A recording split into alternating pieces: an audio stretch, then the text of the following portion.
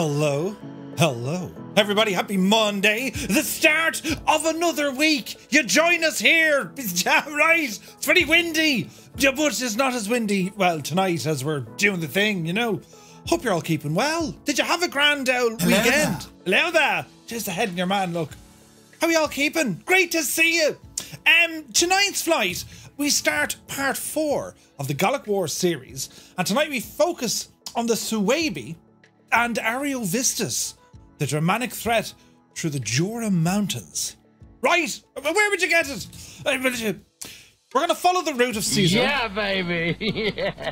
There's things happening. Robbie sounds are back. We're going to follow on Caesar as he kind of, you know, made his way towards Ariovistus and the Suebi tribe, a Germanic tribe. Yeah, baby. Yeah. to, I missed that sound. Uh, we're going to be traversing the Jura Mountains. They're kind of on the Western Alps, right? Small little mountain range. Uh, on the borderlands of France, Switzerland, and of course, Germany, highlighting the rugged terrain where Caesar expanded Rome's influence. All right. Our route is going to take us from Aton or Aton, uh, Lima Foxtrot, Quebec, Foxtrot in France, over to Dijon, over to Lima Foxtrot Sierra Delta, then a couple of stops along the way. Uh, Lima Foxtrot Quebec Mike out in Basel, Lima Foxtrot Sierra Bravo, and then finally back to Geneva, Lima Sierra Golf Golf. So we have a couple of stops along the route tonight. The aircraft of choice, it is this. The FlySimware Cessna 414 AW Chancellor, a light twin aircraft, gorgeous and uh, very capable of what we require of this steed tonight, right? Total mileage about 245 nautical miles, right? Now you might be saying, Murph, where's our flight plan? Yeah, hang on. I forgot to do the thing. I have one here, look. Right, here it is. I better export this puppy here now. Hang on. Oh, we'll call it Gallic Wars Part 4. Horse it in there now fairly lively. And then I'll go into my Discord and make sure it's all there for you. Because, you know, flight plans, I'm a devil. Uh, I know, I know. Uh, Jesus, you wouldn't know what I'd have in my folders, lads, eh? You wouldn't know what the fella be working on next. Gallic Wars, get in there now, you big devil, you. Right, grand. Over to Discord, you get the flight plan, but it looks a little bit something like this. Yes, yes. Taking off from here. Yeah, baby. Jesus! what was that? you just pressing buttons. Genuinely scared the crap out. That was terrifying. It's very loud in my head. Um, oh, Jesus, matter pinching my own ear. Who pinches someone's ear? Anyway, um, from here to there, over to that place, up to this place. Look at that, lads. That there is the River Rhine. And they have accents, yeah. That sounds like this, yeah. Over this side of the water. Right? And over this side, not so much. Uh, and then we're coming back down to Geneva, down to where the Swiss are. Uh, so it's a nice bit of a jog, this one. And as I said, it's it is following uh, Caesar's movements from. We left him after he defeated the Helvetii. And, uh, well, there's a whole story. There's lots to learn about. I have some new emotes in the chat as well for those of you who can avail of our emoticons. Uh, one of them is called Rome. Two tone Rome. Brilliant. And then the other one, I can't remember. I think it's for mods only. Um, biggest just biggest, nothing else, just biggest. Um, so yeah, play with those emotes. They're loads of fun. You'll have lots of hours of entertainment. Um, so that's our flight plan. Put that over there now. Now, where was I? I was over here. Look, and did you see the state of the wind? By the way, Jefferson says something earlier on. Wasn't there not a fly from Manchester to Dublin? They tried to go back to Manchester, couldn't do it there, and they ended up in friggin' Beauvais in Paris. Something like that, right? So hang on, we'll go in and say hello, hello. We'll go in and say hello to everyone in the chat, and then I'll catch up. How's that, right? So, who's here, lads? Who came in the door? Jefferson 2001, the man, myth, and legend, has graced us with his presence. You're very welcome in. Am I off to one side or something? Yeah, I was. Uh, it's from me landings yesterday. They were sideways. But anyway, Jefferson, good to see you. Rambach Mortis here. Hello. My dude, Toto is in the house along with Lee Dixon. Fierce Wolf looking fierce. Gand Wolfie. Welcome in, man. Super Typhon rambles in. All aboard Aero Rome. Nice, nice. Vacuum is in the chat. Robert J56 is here. Canoe Head. Just another manic Monday. I love that song. The Bangles. Jez, great bunch of girls. Oh, brilliant. Do you know? Um, six o'clock already. I was just in the middle of a dream. She was kissing Valentina. It's not important, the lyrics, but they're good, do you know? Anyway, Sean Dale, good to see you. Night Zep. He says, hello, hello from the heartland of the Suwabi, nowadays called Schwaben. This is good, yeah? Uh, very nice. Wayland Chutani, good to see you. Tarnish Mossman is in the house. Captain Meowingtons is here. Filthy has rambled aboard. Sun Jammer is in the house with Belbro. You're all very welcome in. How are you, lads? Sure, pull up a seat and grab a pint. It's only marvellous. Eagle Castellet is here. You're very welcome aboard. SK Sun is in the house. Uh, Ascari Wolf, happy Monday. Soaring AJ. AJH, man. Hope all is well. Viper Strike is in the chat. He says, Good afternoon, Murph and Fireflies. I flew the Cessna 172 over Cuba yesterday. Very nice. Cuba is a beautiful location in the world. I haven't been, but I hear it's quite lovely. But I, it, it, what's it like in the sim? I can't remember the last time you flew in Cuba. But uh, yeah, nice going, Viper. Black Eyes Gabe, we have a Black Eyes Gabe. Gabe, it's good to see you. Just glad to be here. Gabe had a wonderful flight. we could hear him. Jesus! We heard in the wind, you know, as his plane touched down. Uh, great to see you here, man. Hope all is well. Hemming Bird has rambled in. She says, I went to B&Q earlier. The shop bloke asked me if I wanted decking, but luckily I got the first punch in. what else did they used to call them? A decking. Do you want a deck? Hit me slap. I'll burst you. Uh, what was the other one? A straightener. Did you ever hear that? Us dubs would know it. Do you want a straightener? Oh, yeah, I hit my straightener. Basically, it was to straighten you up. Do you know? I'll take the bend out of you. A straightener. Did you ever hear that one? Yeah. Anyway, uh, Hemmingbird, good to see you. Uh, right, where are we at? Where are we at? The one, oh, that one blew me away. Onboard simulations, good to see you. Jepson says some wild diversions yesterday caused by the high winds. Run Ryanair flight Manchester to Dublin had to divert to Beauvais after holding. Yeah, yeah, that's the one. Nuts. Imagine that, right? You know, ah, yes, we're going to Dublin. No, it's diverted. We'll see it in Paris. Makes total sense. Uh, but yes, Boston Elf, good to see you. Energizer is in the chat. You're very welcome aboard. Zythy, welcome in. Shuffle Shoes, shuffles in. AJH John. Jan Race is here. Good to see you, my dude. Uh, now, let me see. Uh, Tritz 4, happy Monday. Wombat 49, let the garlic wars begin. Yes, yes, yes. We're, it's the garlic wars, Murph. The garlic wars. Indeed, indeed. Uh, right, Lightworks Laser Engraving watching us here on YouTube. You're very welcome aboard, man. How are things? Uh, Strap21, Ola. Uh, let me see. GOD on YouTube. Welcome in, welcome in. Guys, thank you very much indeed for tuning in. Badgers is here. Hello, Badgers. He says, Hey Murph in chat. Hello. Uh, Naughty Gnome has resubscribed, as has Mew's fan. Gentlemen, thank you very, very much indeed for your continued support. Actually, we might as well. Do you know, the night is young. Ah. Oh, Jesus.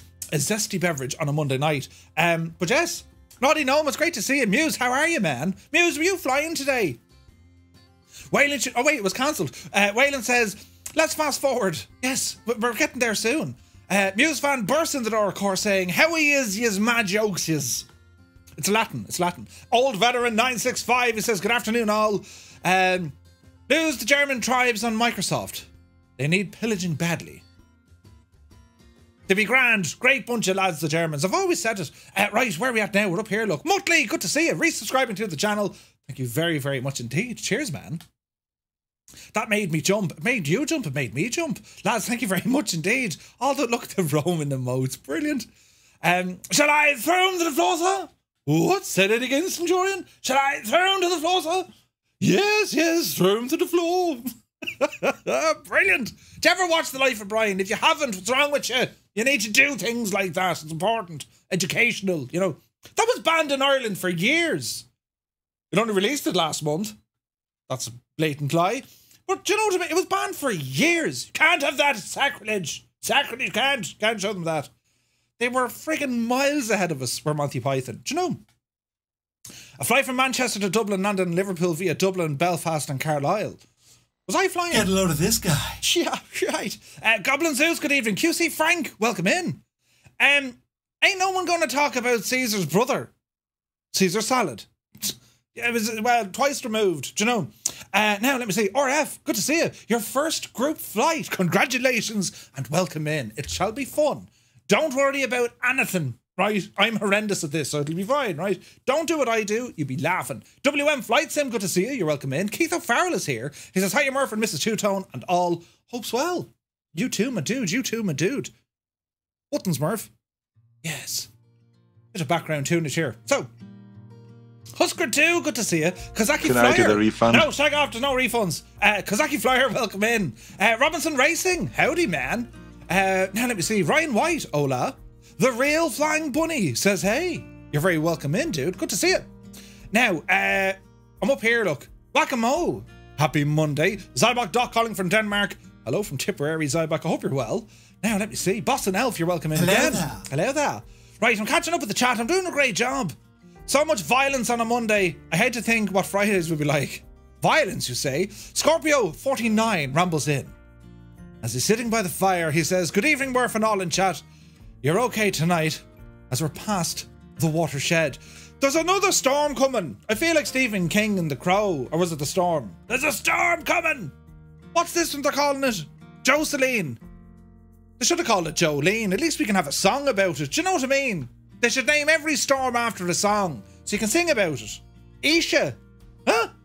No, that's no use at all. Jocelyn. No, we need Jolene. Right? Do you know what I mean? And, and you know, words to that effect. Uh, but yes. Uh, in keeping with the Roman theme, there will be Italian food for dinner tonight, says old veteran. Well, that sounds wonderful. What are you going to have? You know, some Roman delicacies included dormouse. I'm just saying, you don't knock it till you try it. They had a life expectancy of about 40. Uh, good to see you. Squawk Torque is here. Tried the model matching mod again today. No luck. I haven't had any model matching whatsoever for months. Really? No way, man. Zybak, yeah, I don't know what's wrong with it, man. We'll try and fix it though. Energizer! I would say I'm very cultured by having watched Monty Python, Star Wars, Lord of the Rings, but then I realised I haven't watched Star Trek or Doctor Who. Listen, don't worry about Doc- Doctor Who. Star Trek, most important, right? A five year mission to seek out strange new worlds, new civilizations, to boldly go where no one gone before. And then Picard took over. You know what I mean? Patrick Stewart, right? He made Baldies look sexy again. And Patrick, right? Do you know? Not that they ever lost that appeal. I'm just saying, you know, uh, it's because I'm getting close to it myself. It's it's fading fast. Romani ite domum. Now, write it out a hundred times. Roman generals make the best time travelers because they can move centuries forward. Ah, Hemingway. Ah, brilliant. Who who redeemed Picard? That was good, Sean. That was a, someone write. Someone needs to write that down. That was a great joke. Mr. Zed is here. Good to see you, man. How's the history lessons? Brilliant. We're learning nothing. Uh, now we're, we're over here. Uh, Dobson. Good to see you. You're very welcome in. Uh, there's a song about Josephine. Josephine? No, Jocelyn or Jocelyn. I don't know what she's called. I had pizza with mozzarella. Jesus, that sounds very nice. Uh, Elaine will have lasagna, and I think I'll have the veal le scala. Oh, jeez, veal, old veteran. And tell me, what sort of beverages shall you use on the. Do you know? That sounds very nice, doesn't it? Knightsep likes himself a well aged dormouse steak. Brilliant. Tarnish is in the phenom. You'd be grand, totally fine. You can do two laps. Star Trek is worth watching. It just is, Keith. Shakin' Stevens, Josephine. Do you remember Shakin' Stevens? He had one eye looking at you, he had one looking for you. Do you remember him? Brilliant. He had the nicest jumper collection you've ever seen. Cardigans, knitted, you know, wool. Brilliant. Uh, the 80s, man. Uh, right, now we're, we're over here, look. Julie Shakin' Stevens. Julie must be a wife of Julie. right, right. I think we'll all agree to disagree that uh, Jocelyn or Jocelyn or is it Jocelyn? I don't know who names them. Seemingly, the Irish and the English had a conversation and said, We're going to name all the stores, storms, right? And then in 2019, the Dutch, isn't that weird? They came over and they said, We'll take part in this. And they did. So now you have the Irish, the English, and the Dutch uh, naming all the storms. When I was young, it was just windy. I don't know what's after happening, but sure, listen. Downrange says, Murph, I can't take it anymore. I'm going to mute you. Brilliant. You want to see me at breakfast time? Do I want to have breakfast with you or what? No, I'm not like that in the morning. Although some mornings I am. I tend to be a bit kind of strange in the morning. The brain hasn't fully uh, captured the day. I'm still in the scanning for devices phase. You know, Uh, the storms have different names over here. Oh, do they? Apparently, the next storm would be named. Re- oh, close, Viper, close. Jesus, I nearly got that one, lads. Huh? I nearly got that one. Right, so before we go, and we're going to do a full startup on this machine here now in a second, I need to tell you what we're doing, right? So, a quick recap Cast your thoughts and eyes back to the year 58 BC. Well, you don't have to go back that far. Just think of last week, right? Part three was last week. The Battle of uh, Bibracte. See, I still can't pronounce it. The decisive victory overcoming the Helvetii. So, in our previous episode, we embarked on a journey to the heart of Gaul, where Caesar faced and defeated the Helvetii in a pivotal battle our flight, replicating this historic march, took us through the scenic landscapes of eastern France from Bern all the way down to Autun. We flew the agile Airbus H 160 helicopter, and uh, experience brought us closer to understanding the strategic genius that was of Caesar. Part 4 tonight focuses on the Germanic threat, the Jura Mountain skirmishes, and of course, Ariovistus, right? So, we have some context. The aircraft are flying tonight, of course, the 414, cruising speed of about yeah 200 knots, range about yeah 1500 ish miles, uh, service ceiling some 30,000 or 30,000 feet, and a passenger capacity up to about eight peoples. Uh, the route in which we've discussed. So I'll bring you into this whole story, right? So Caesar was there decking the Helvetii. See what I did there, Hummingbird? I mean, shut your eyes and you're there, right? But anyway, Caesar last week well, it wasn't last week, it was 2,000 years ago. But anyway, he was there having an old scrap with the Helvetii, this massive tribe of some 300,000 um, leaving Switzerland, modern day Switzerland. They were based somewhere around Lake Geneva and they were migrating. They were sick and tired of these Germanic tribes, the Suebi, constantly harassing them, and they needed more space to live. Expansion. So they said, right, we're going to pack up our troubles and head that way, out to the maritime regions of Gaul. In doing so, well, they were going to travel through Romans' turf, Romans' front door, as it were. And the Romans didn't like that. Oi, what are you doing? So, a broke fought out. I mean, a fight broke out, and Caesar went up there, and it was all sorts of bejesus. At the time, during Caesar's fight with the Helvetii, there were other Gallic, uh, Gallic tribes jostling for position, as they do. The, the tribes, the whole region of Gaul, modern day France, and some of the lowlands and that neck of the woods. Well, you had all of these rivaling tribes. Hello there. And they were constantly fighting with and against each other for, you know, I like that mountain, it'll be mine. So during all of this, one tribe, one tribe said, I know exactly what to do here. I shall call on the support of my cousins across the river. The big beardy fella, Ariovistus. Say, Ario, would you mind coming over to give us a hand? Uh, so Ariovistus and the Suebi were invited in. Uh oh. Uh, and that's what happened. They invited the assistance of the Germanic cousin. Ariovistus, a great German leader, he was only looking for an excuse to bring his 100,000 plus army into Gaul. He was like Caesar, expansionist. He, yes, we're going to Gaul. It's great over there. The Gallic tribe who invited him, well, they thought Ariovistus he'd come over, give them a helping hand, and then, you know, head back across the Rhine. Thanks very much. You're sound. That wasn't the case. Ariovistus, well, he fancied this new region. He thought, hang on a second, this is brilliant. The whole land shall come under my control. That scared the actual bejesus out of the rest of the Gallic tribes. On, I don't believe it. You just went and invited the Germanic tribes in. What were you thinking? So they said, oh, bother there was no way the Gauls could all work together against the Germans.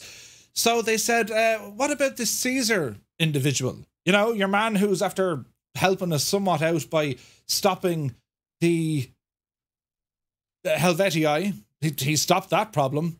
I wonder, could he help us? And that's what they did. Runners, messages, everything started coming down to Caesar to say, we need your help. There's an there's a massive German tribe on the way over the Rhine, and they keep coming. Oh, bother. Caesar, not in any rush to take on a massive Germanic army, he requested that they return back across the Rhine, or at the very least, stop more Germans from coming over the Rhine. He sent messages to Ariovistus, but he would have none of it. Caesar then sent a letter detailing the rules of the Germans, or to the Germans, that no one else could enter this region. There was to be no fighting, no pillaging, and any Gallic hostage must be returned. Ariovistus scoffed at it. He broke his left foot laughing. How funny, he thought, of a Roman to make such a demand so far from Rome. And he said, if Caesar wanted to force the issue, well, he was more than welcome to try. Oh, it's on! It's on now, lads! Ariovistus, he was a friend of the Roman Republic. In actual fact, the hilarity, some years before, with the assistance of Julius Caesar, Ariovistus was named a friend of Rome. Caesar was in a bit of a pickle. Uh, do you know that fella who I said was grand? Yeah, he's not. We need to fight him. Huh? Yeah, he's no good at all. He's up to, but didn't you say? No, no. He's he's an issue. We need to deal with him. And uh, but that was the predicament. But Caesar knew. In fact, they all knew. You can't have these massive German tribes running amok the entire region is going to be destabilized, and we have a massive Roman army under Caesar kind of out there in no man's land. Something had to be done. So, Caesar, thinking he was okay and, you know, fairly solidified, I'll go up and meet him face to face. He knew he had to put a stop to it. Plus, all the other tribes, they all now knew uh, we don't want the Germans here at all. So they were able to help Caesar out in his travels and resupply and all this sort of jazz, right? So off he went. Caesar headed north to pursue him. We're going to stop it there because we're going to get our aircraft up and running. Then we're going to learn what happens next. Now, on tonight's flight as well, we're going to learn a couple of things. How did the Romans navigate? We have all sorts of cool instruments and radio signals that we can go flying, including GPS. Well, back then the Romans uh, didn't, right? Then I want to focus on some of the religious beliefs back then. Because some of them are fantastic. We've we've heard about the sacred chickens, and if you've never heard of the sacred chickens, I'll bring you back up to speed in a little while. But we're going to focus on the belief system of not only the Romans but also the Suebi, because these were kind of the the written laws of the day. They had to follow them in fear that their gods were going to punish them and all this sorts of jazz. Do you know? So we're going to do all that now in a little while, all right? So let me see if I just highlight this so I know not to forget it because I forgot a heap of stuff last week. But sure, lads, it can happen to anyone. It could happen to anyone. So here we go now. We're going to hop into our little airplane, get the thing up and running. And uh, this is a really, really nice airplane.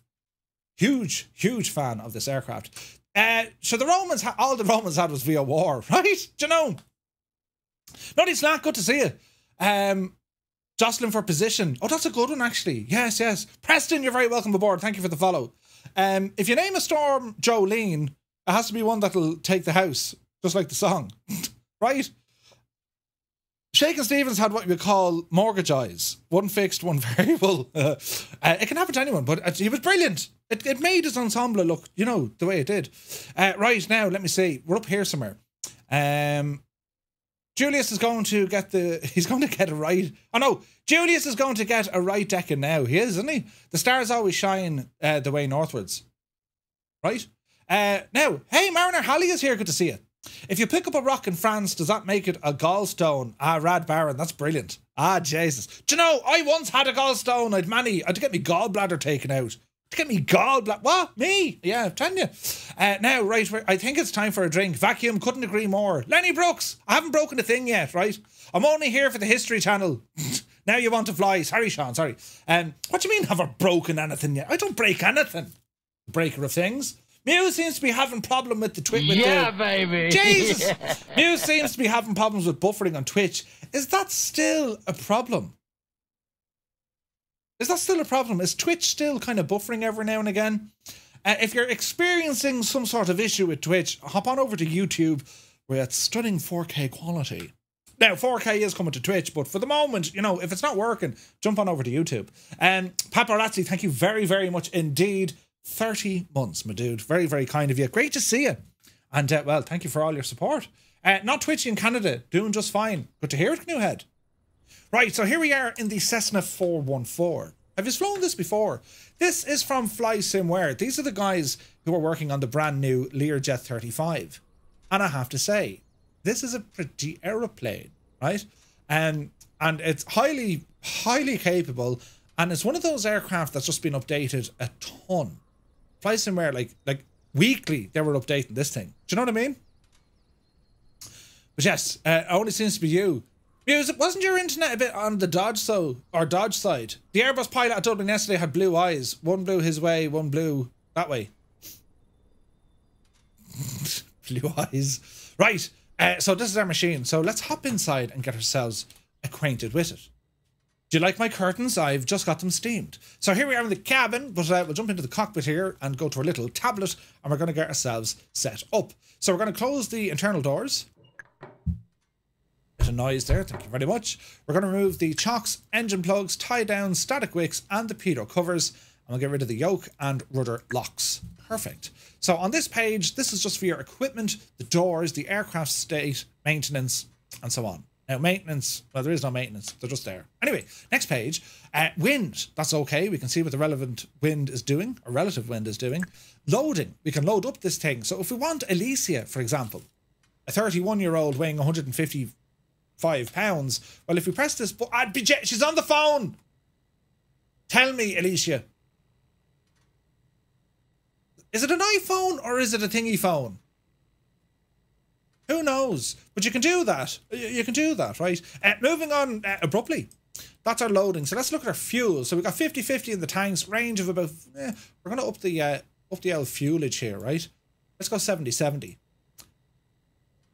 That's good. And that's good. So we can see fuel on board, range just under 800 miles. Lots and lots and lots. And then we have a walk around and then we have our checklist. Everything's fairly good uh, to be here, right?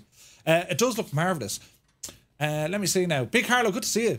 Uh, I'm watching on YouTube and typing here in the chat. I can watch other streams fine, uh, and your stream on YouTube is fine too. Internet is perfect. Jesus, Muse. I wonder is like, I wonder are there any settings you need to clear, or Muse? I wonder is it happening just on the mod screen? Do you know the way on Twitch you have the mods view? Just, we'll try and pinpoint the issue. Do you know what I mean? Right, so I'm finished with the tablet. We can follow this off. So we have your pre-flight checks before starting the engines. We can go in here. Everything's just yep and yep, yep, yep, yep. So we'll disappear this for the moment because I'm happy enough with it. So uh, disappear, please. And well, welcome to this machine here, right? Welcome to this machine. Right, I need to disable that. One second now. Controls. I was making videos at the weekend and I had to uh I had to get rid of stuff. You're on the throttle on the HOTAS mixture. I'm going to clear you, validate you, save you, and go back. We're going to manually use this, all right? So let me see, looking down here, fuel tanks are currently in the off position. We're going to turn the right to main. And left to main. Go. Uh, looking up on the overhead, lights are off. Some visors don't need just yet.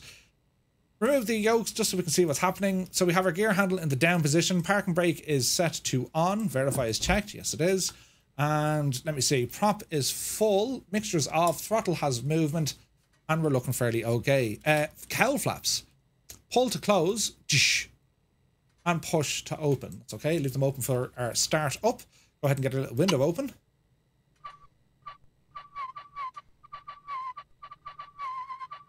You do it a shot at WD-40, couldn't it? Right, okay, so we're going to come down here to our left-hand side, and this is where everything lives in terms of our electrical systems. So we have these bars here, right? We're going to turn on the master battery. Sounds are good. Excellent. So master battery, go ahead and get the alternators turned on, and we'll get some lights on here as well. Anti-collision and nav lights can be turned on. Everything else leave off at the moment. All our circuit breakers work, so a quick visual check on them, make sure there's nothing popped up. We look okay. Quick check over the far side. They look okay. Excellente. Right, okay, it's quite dim in here, so we'll turn on some panel lighting. Very nice, very nice. Uh, and we're going to have a look at our fuel controls. So let's see. So we can see that we're getting a read from the battery. It's less than zero, so we're drawing on it, so we need to be careful of that. Uh, we're going to start with the mags, and we're going to go for a start on engine number two. So right mags can come on. I'm going to engage the fuel pump on the right engine introduce the mixture. Mixture rich. And we're going to prime it. Very good. Clear prop. And we'll go for start.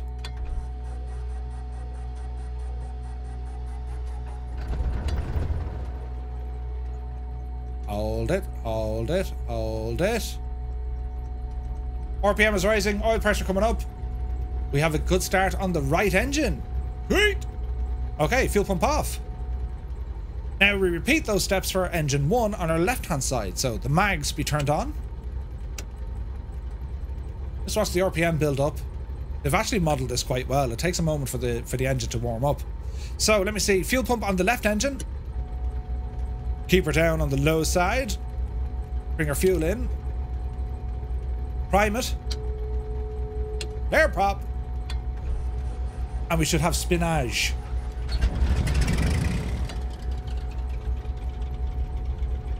Engines holding. Pressure rising. Good start on the left. Nice. Fuel pump off. Close the window. Lock the uh, lock that little handle.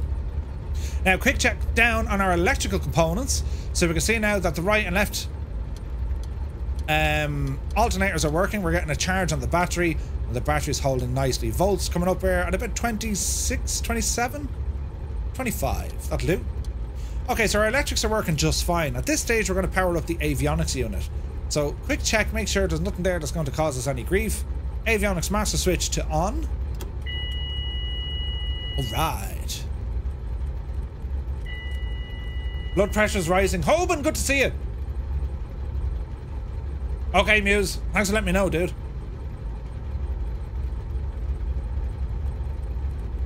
Okay, so we're just giving these a few moments to warm up. Bring the mixture down here so we're not going to foul the engine. Okay, let's go in and have a look. So this is our autopilot unit. We're going to turn on the flight directors. They'll come on to our heading indicator and our artificial horizon. Uh, little HSI down here. That's grand. We'll play with this now in a moment. Uh, altitude set for autopilot. We'll go ahead and set 4,000. Our little Honeywell system. Thank you. Uh, distance measuring equipment, DME. Don't need that. We're going to be flying this on GPS. So we're going to go to map mode change our course deviation indicator. It's currently on VLOC 1. We're going to put it onto GPS. And we'll zoom out here a little bit. And we're going to start putting in a flight plan. Alright, so if you put in exclamation point route, it'll give us the route. So our departure airport is that LFQF. Our first, pardon me, we're going to fly over LFSD. Uh, now, oh, that's not actually our destination. Need to change that, Murph. Our destination, beg your pardon, is going to be uh, Geneva. LSGG. And we'll add some waypoints along the way. How's that? So we're going to say LFSD. Is that correct? LFSD, yes. Then it's LFQM. LFQM. LFQM. Then it's LFSB. LFSB. Basel. And then we're good. And then we're good, lads. I've noticed YouTube is normally 35 seconds behind. Is it? Uh, this was on sale for 20 bucks recently. Oh, dude. Dude. Hey, Patrick is here. Good to see you. Uh, Twitch has been laggy for me as well. Yeah, there's, there's a couple of people having issues with Twitch. I was one of them as well. Right, so let's have a quick check here on our flight plan just to make sure we're going the way we want. We are VO4 today. LFQF, LFSD, LFQM, LFSB, and then of course LSGG. That's looking fairly good to me. And all should be well. What do we say? About 242 nautical miles in total. That looks correct. Alright, back into our map. Quick zoom out just to make sure it visually makes sense, which it does and we can remove some of the information here just to make life a little bit easier. Uh, terrain we will use. And the Jura Mountains, they're over this neck of the woods. They're in front of Lake Geneva. Right? So that's what we're going to do. Now our transponder, a couple of ways to set that, but uh, let me see. We'll go standby mode over here with our beautiful GTX 345. ADF, again, we're not going to be using VOR, NDB or ADF. Everything's gone into the uh, onto the GPS for us, right? Jesus, I've two units here. How handy is that? We could go weather or indeed charts. Um, procedures nearest. I suppose we could nearly do traffic on this one. Do you know what I mean? Uh, and traffic should be turned on. Okay, so we were looking up here. So let me see. Fuel left and right. Uh, our CFS 2000. Hello there. I keep breaking this. 84.7, 20.6, fill up, verify, test is working, enter. Left and right. Well, that's they're going to be different, aren't they? Hmm. I need to read up on how to work this gadget. But anyway, we won't worry about it. We just got hello there. Uh, who is this? Late guy, Texas. Thank you very much indeed for the follow. Welcome in. Welcome in. TJ Turner is here. Hello, TJ. Lord Mega. Good to see you. Lads, you're all very welcome aboard. Okay, so we're going to squawk. We're VFR, so we're going to put it on altitude mode. That's looking fine here. Uh, over to the right hand side, we have some environmental controls, mainly with our cabin air and the devil knows what. We have some important things in there, including a book from Flight Safety. Very handy. Uh, right, now, before we get going, we will hit the B for resetting our baro, and we'll hit the D to make sure our directional gyro is doing what it needs to do. We're also going to engage the taxi lights and everything else here looks pretty good. We do have hydraulic fluid warnings, but they'll probably disappear once I increase a bit of power here. Let's test that before we go. There we go. So we're all right for the moment. Okay. It's been 112 years. It's fine. Totally fine. So parking brake coming off. It's a very short taxi. We're at Papa. Now what I will do, I'll do a very quick run up and then we'll get multiplayer turned on. How's that for the plan? And just mind the old terrain here because it looks terribly bumpy. Terribly, terribly bumpy. Uh, are you going to fly this plane or are you trying to sell it? I should have been like, get shares and fly somewhere or something, will you? It's a cracker of a plane. Anyone who has the 414, it's very, very good. Easy now, Jemima. Okay, so before we get out onto the active, I just want to do a quick run-up test. We'll do it up here at the whole short line. How's that? Uh, and while we're doing that, we're going to pop on the landing lights because they do take a moment to come on.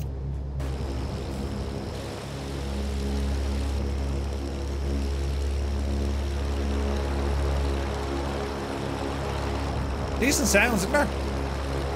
So there's the lights coming on there now, right? They kind of have to spool into position. So parking brake is set. We're going to put the mixture up and we're going to increase our RPM. About 1700 or 1800 will do. Okay, quick test on our mags. We're looking for a drop of about 50. Very good.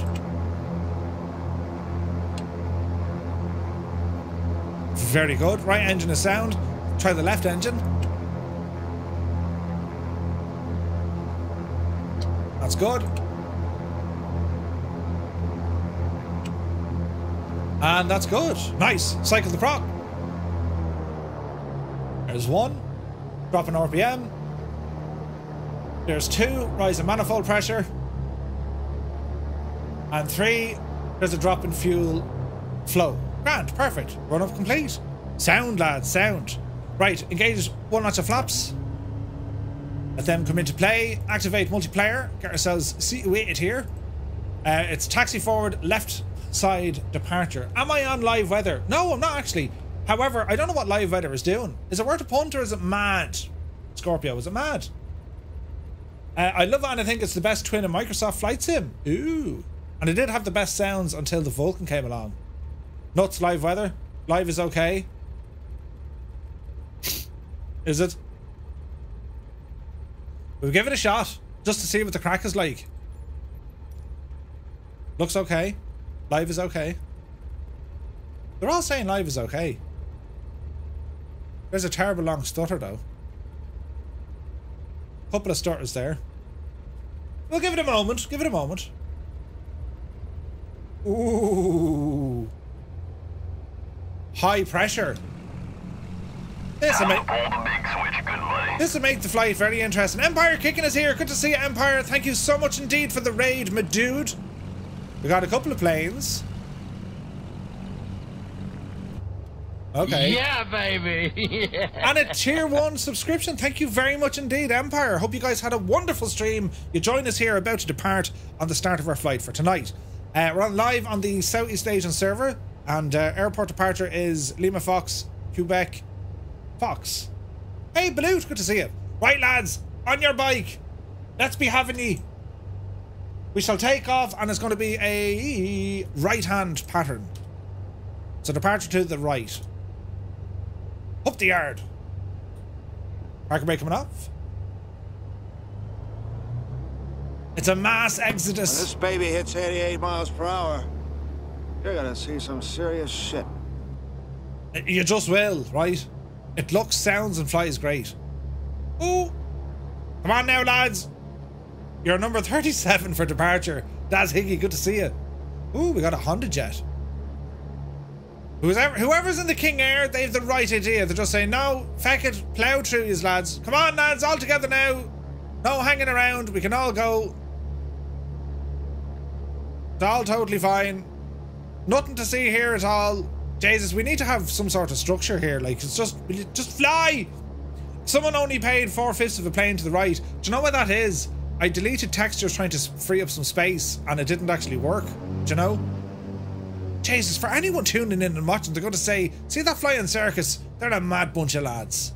Mad bunch of lads." Can I get a refund? No, there's no refunds. Good to see you, Dan.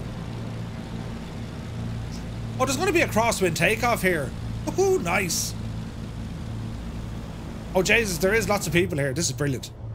Ah, I can see nothing from this view. All together now, lads. You're doing great. Soaring AJ is about to get airborne. Reckless Ray. ZG Walker. There's Rob over there. Simon, Kozaki. I don't know why your Bonanza isn't showing right. Very strange. Got some Kodiaks with us as well, look. Lead Ballooner. You need a controller. We we could do with a controller. Oh, Jesus. Right, Rob, let's be having you. Simon's just going to burst through as well. And shall we listen? We know AZ Blue Line is just going to go hammer after tail. Look, it'd be grand. Up the yard. Ah, brilliant. How are we looking? Jesus, Quasarta has the same problem, look. Holy crap, there's a lot of people here, isn't there? There's a total gridlock. Ryan's in the 310. Beautiful. Beautiful departures here, lads. Just be careful of the windage. Do you know what I mean? It looks kind of dodge, doesn't it? It looks terrible dodge. Now, can I do something? In... Jesus, Murph, come on, will you? You're holding up the parish. Don't mind me now. When will we have a 421? I don't know. A 421, you say? Sorry, Fast Pete. Go on ahead. Southeast Asia, TJ. Yeah, jump on in. Um, I'll just edge forward here, will I? It's totally fine. I'll edge forward. Don't mind me. All is well in the realm. Okay. Are we ready? Let's do our thing. So, heading bug. We're walking, talking, and indeed squawking. Let's go. Power coming in.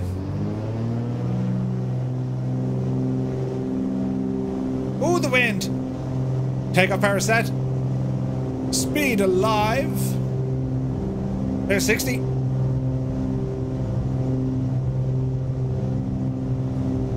I'm on there, Betsy. There's 80. There's 90. Yep, see Daisy. Positive rate of climb, indicating the climb. Gear up. Oh, she's windy up here, lads.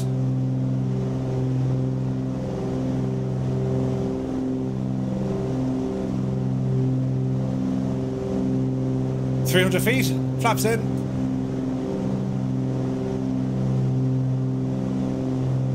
Easy now, Chuck. Easy now. Who said live weather was grand? It's positively windy over here. Is it just windy everywhere in the world? Right turn coming in. Easy. Easy.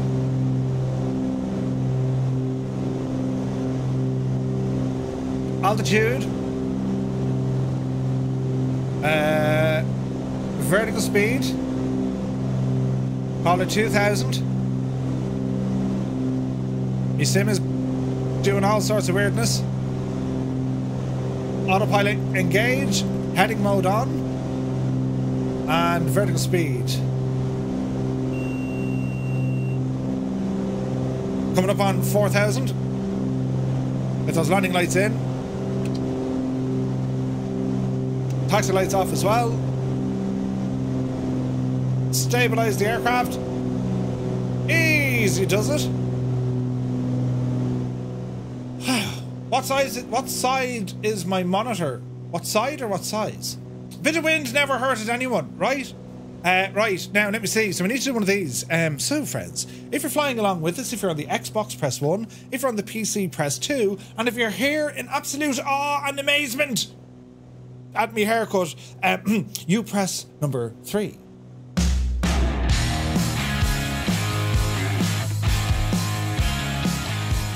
Hello, Fireflies. Welcome to the Flying Circus. We live stream every Monday, Wednesday, and Friday, 2000 Zulu time, right here.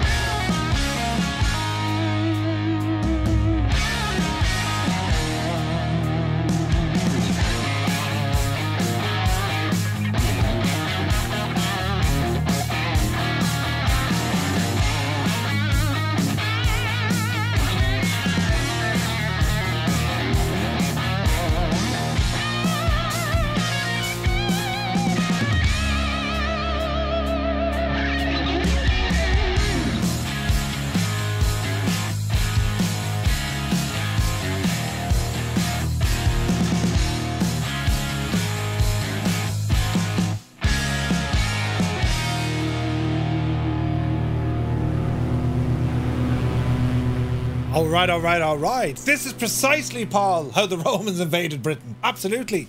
Um, who have we got? We've 33 in the PC, two on console, and myself. Thank you very much, Super Die. Excellent.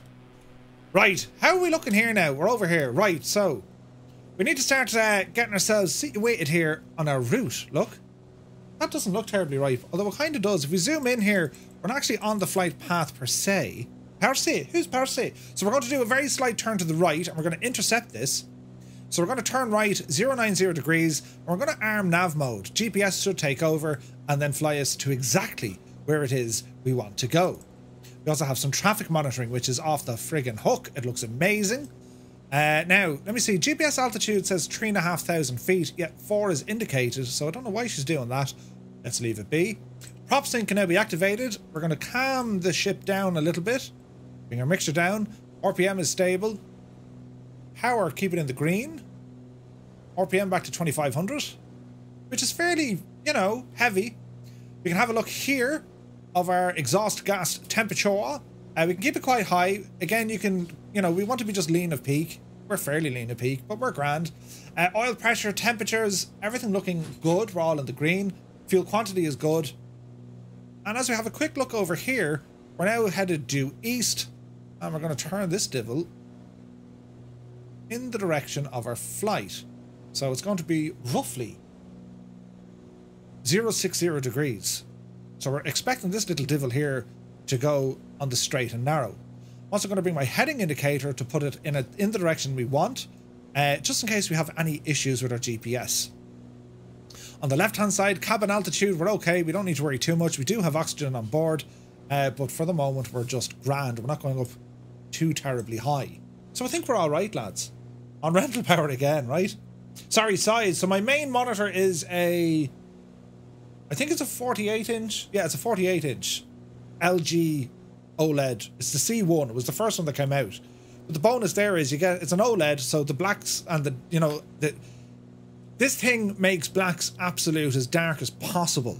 The the colors, right? So if you're flying at nighttime, lighting really jumps out at you. If you ever see an OLED TV do that, the the color definition, the shadows, the anything that's dark is incredible.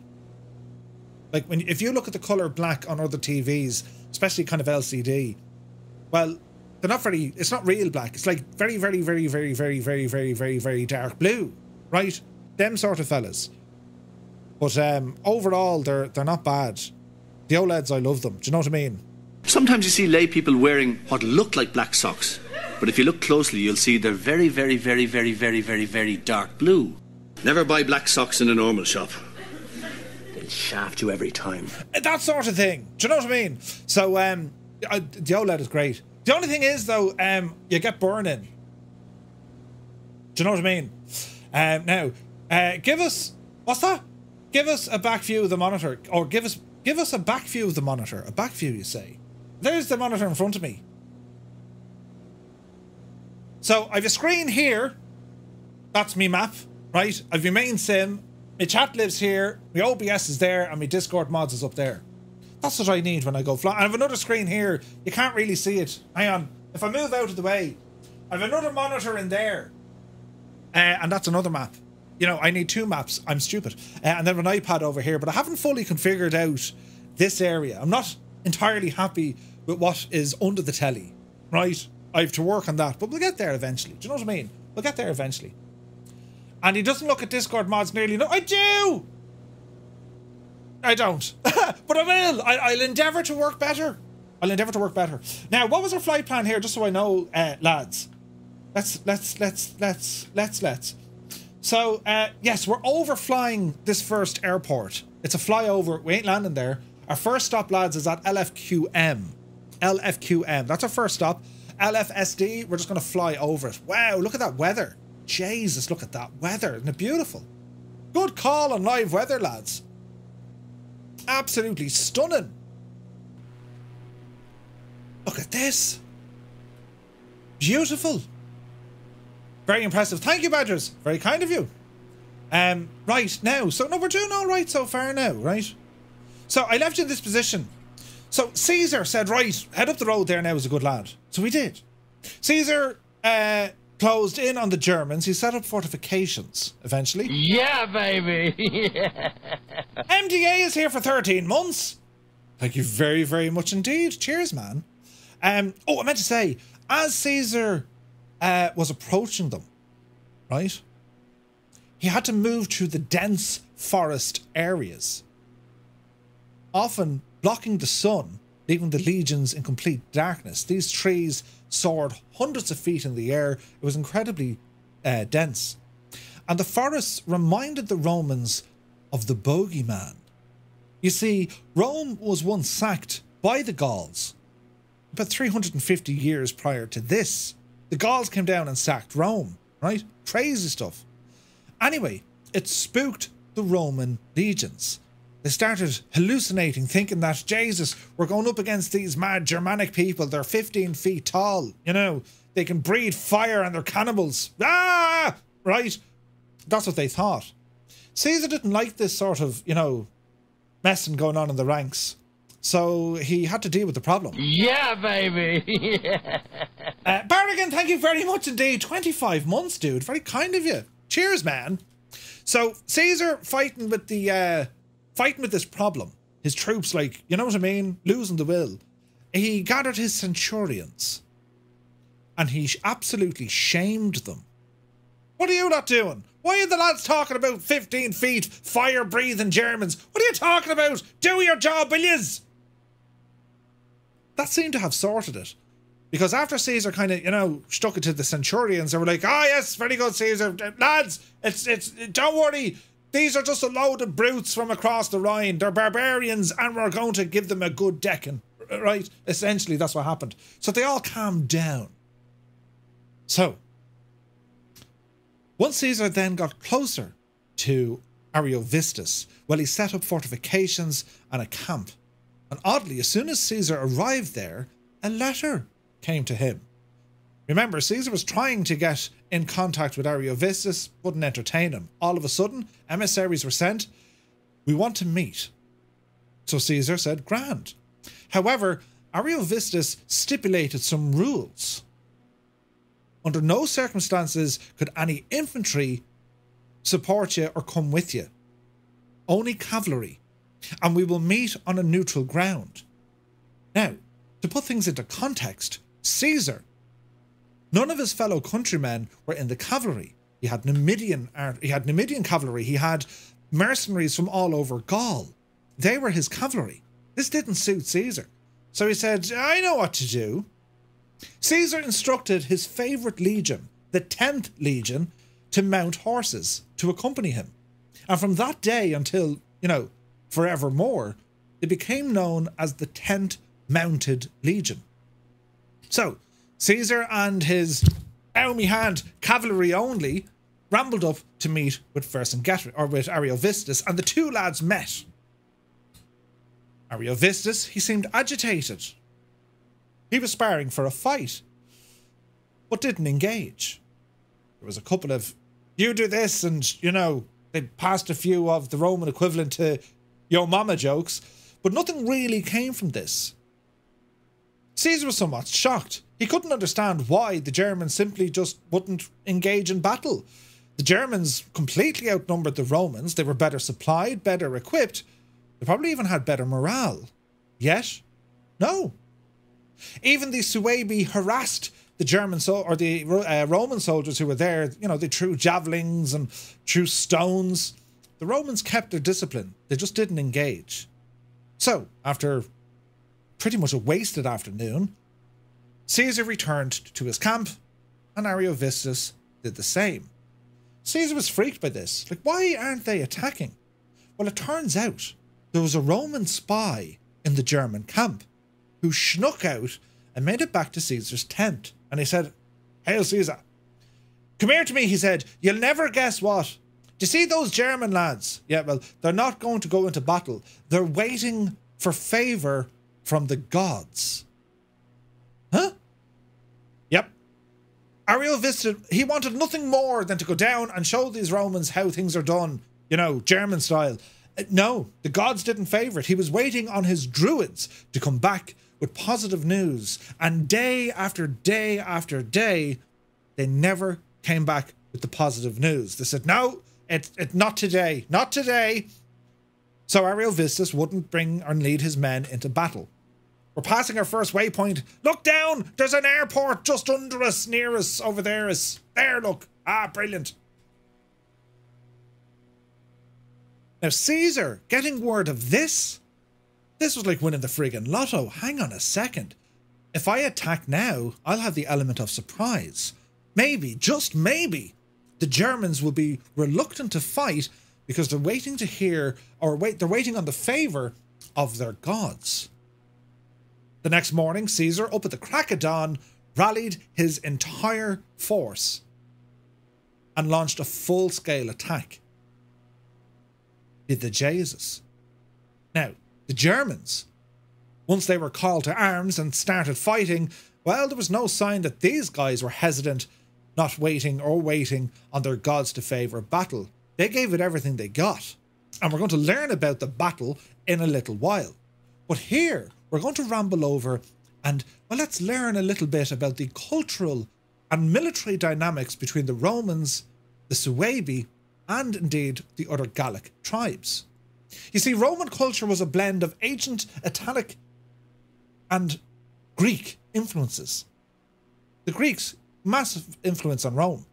It was highly urbanized, with a focus on law, literature, and monumental architecture.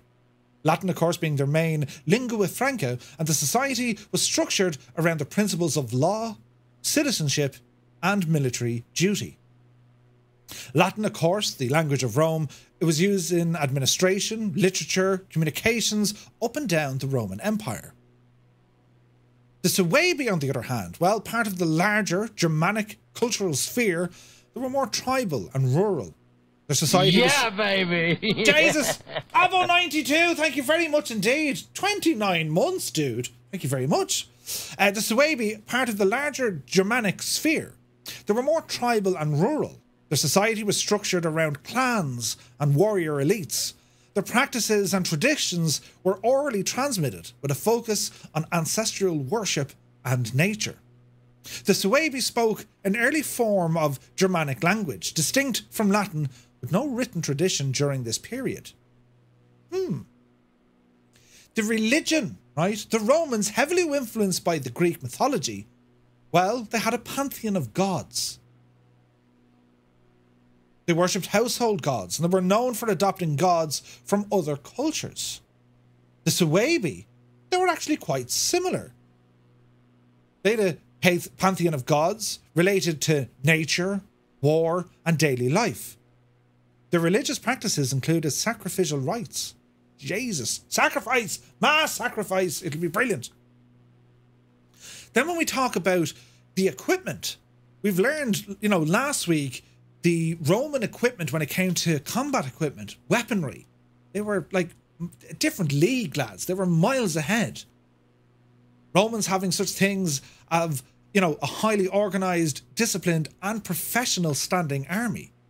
Legionnaires were equipped with the gladius, the pilum, the scutum, and they also wore segmented plate armour. The Suebi, on the other hand, they were fierce and valorous, but far less organised in formal units. They fought with spears, shields, and they were known for their effective use of the war axe. Armour was less common, reserved only for the wealthier warriors. Interesting. So, who was this Ariovistus? Well, he was a king and a war leader of the Suebi. Known for his bravery and leadership, he commanded respect and fear amongst his people and his enemies.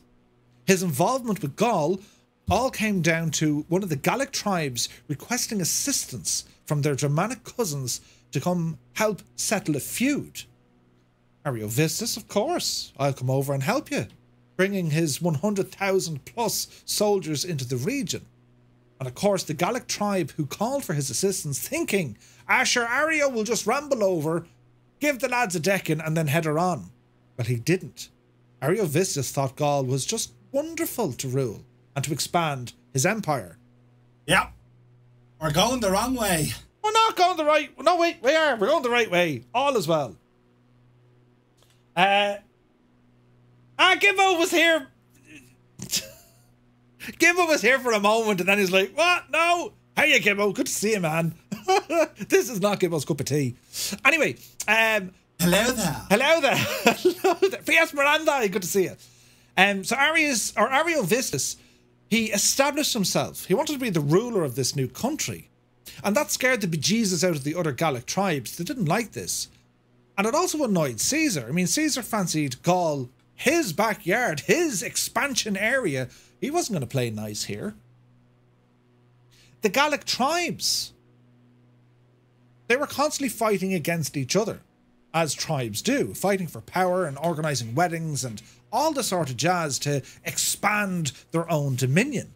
But the problem was there were so many individual tribes fighting against each other, no one really took the overall force.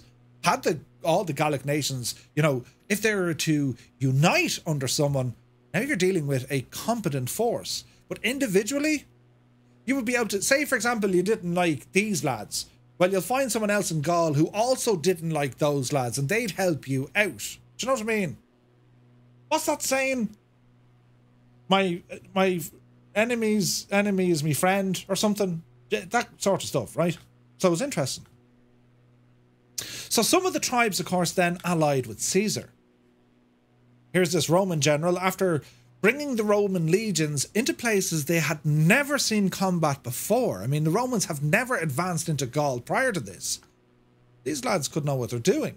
So they were invited, come on up here and sort out this godforsaken mess. Now, think about it. What did the Gallic tribes who invited Ariovistus over, what did they think was going to happen?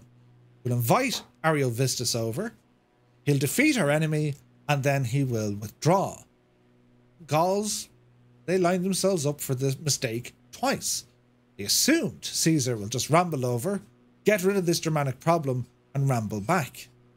History tells us eh, that didn't exactly go to plan. Do you know? So, the tapestry and cultural, linguistic, and religious diversities between the Romans, the Suebi, and even the various Gallic tribes, and we can see the contrasting military weapons and capabilities between the Romans and the Suebi.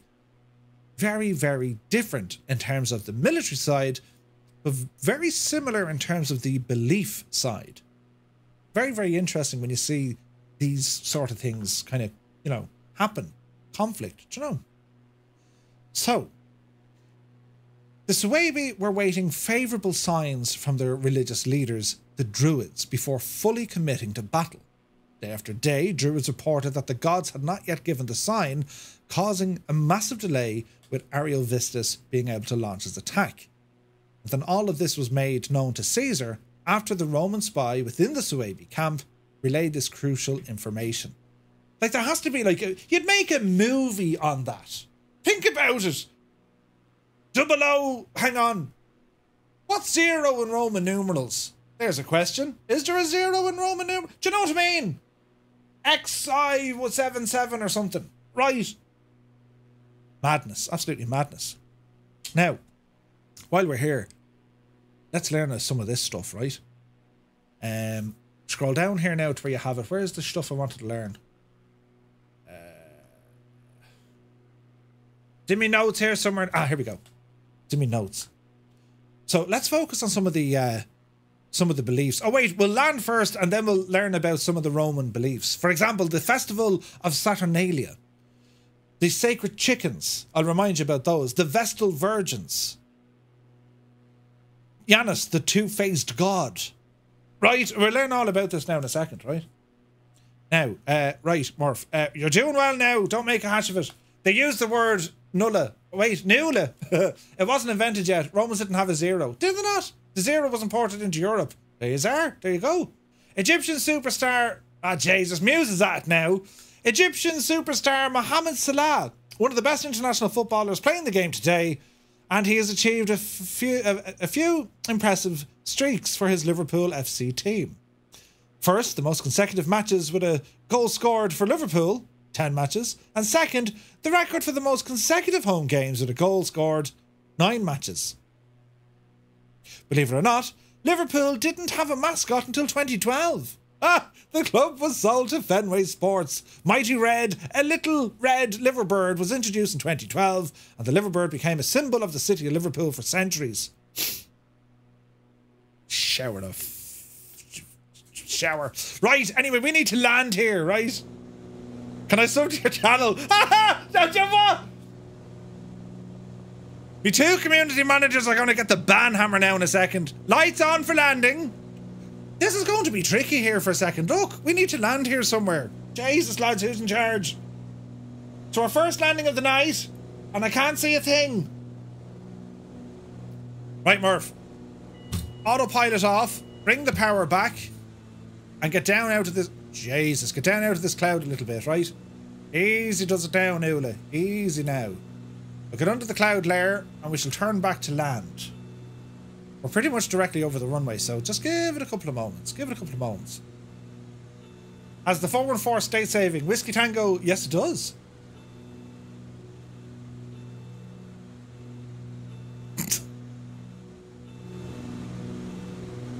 ah, Gibbo and Muse. A great bunch of lads. Little did they know there's going to be a test on this. There's Wombat. Easy now, plane. Easy, easy. Need to get that speed down a little bit. We'll circle out here to the left. That's going to be a turn out to the right. Bad for your wallet? Yeah. Time to pull the big switch, good buddy. Welcome in, Raiders.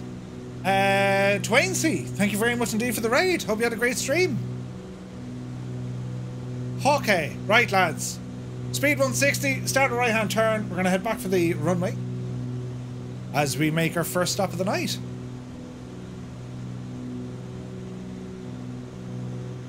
Easy now. Yes. Bit of Toby here to help us out. Although we can't see much. Speed 140.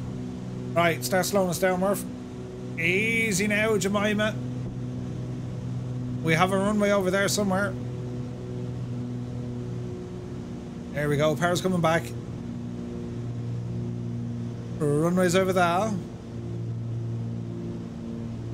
Watch your speed. Oh, it's windy here too. Okay, runway in sight.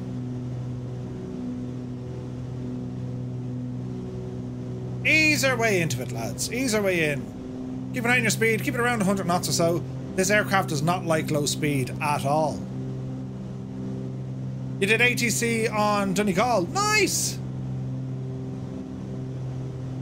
Simon already got a minus 79. Are you serious? There was four, but the raid booked out. You're fine. Thank you very much indeed for raiding on over to. It's very kind of you. Right, first landing of the night coming up. It better be pretty. Predict 144. Jesus. Easy does it now, Jemima. So our first landing over at uh, is it Bisankan? Bisankan? It should be fine. The weather is quite nice. Definitely challenging. Chala is there looking good. Captain Meowington's looking good.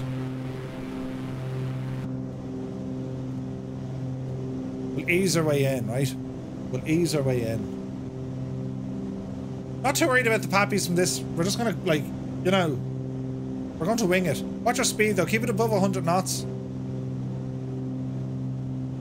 Flaps set, gears down, yaw dampeners off. We shall take our time. We shall take our time. No pressure, Si. Yeah, what did you get again? Minus 79. Jesus. Are you on live weather, Si? Be honest now. Predictions into the chat. The bot should uh, record me landing rate. I hope.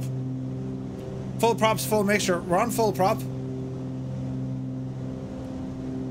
We're on full mixture. Oh, Jesus, a prop sync. Turn that off. There you go. She doesn't like prop sync on the landing. Have you counted the freckles on your shaven arm yet, Murph? What are you talking about, me shaven arm? The hairiest arm. The hairiest arm. You just can't see the hair because they're blonde. There's over a thousand. Yeah. There's over a thousand. Oh, Jesus, go handy now. Live item but not live time. Gotcha. Jesus, that's good going, man. Easy. Okay, now we're looking decent. Easy. What way is the wind blowing? it doesn't feel right. Is the wind blowing behind us? Uh-oh. There's people going around. Toad, I like a challenge. Easy. Easy.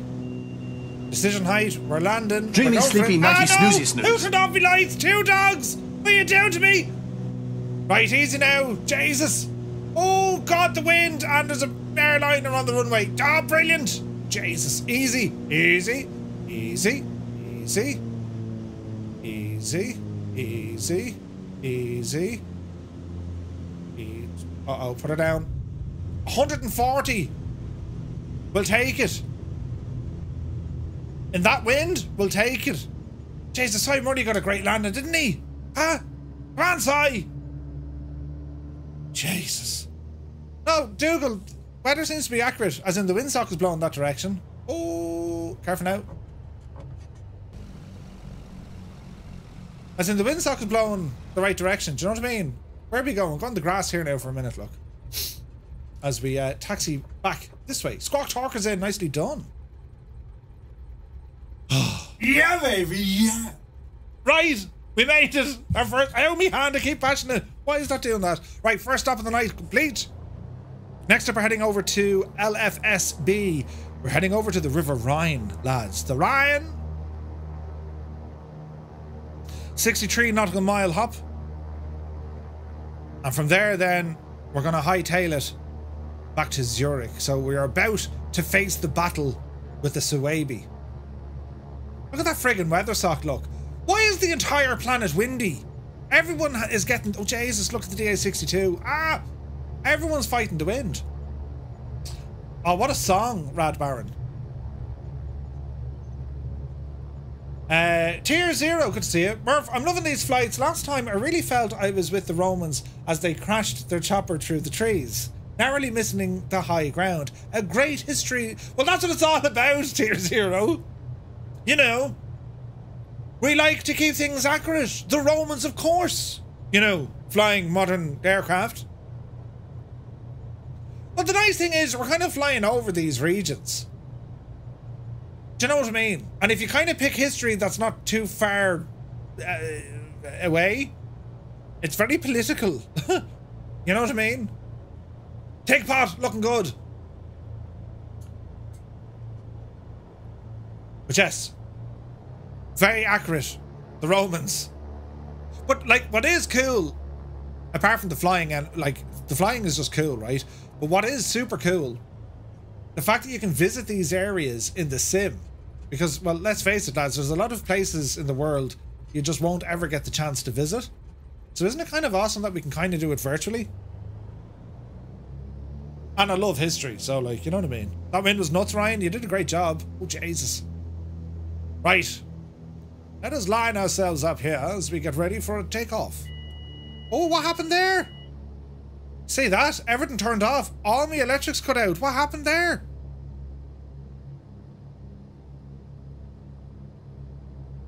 That can't be good. Did you see that? Glitch? Or problem with the plane? I think problem with the plane. And dreadful friggin' performance. Interesting. Never seen that before.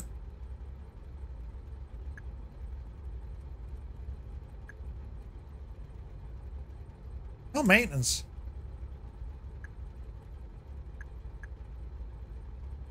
Uh, I did nothing. Put another coin in the electric meter.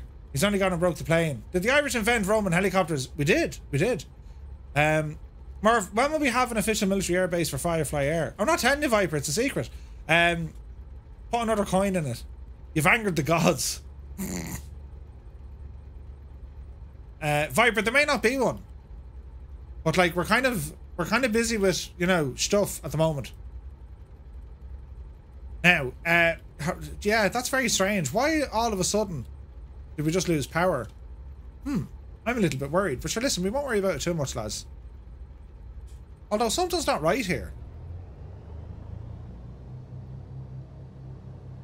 Why is that goosed?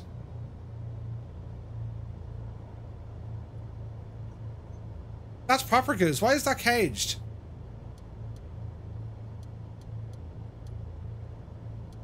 Oh.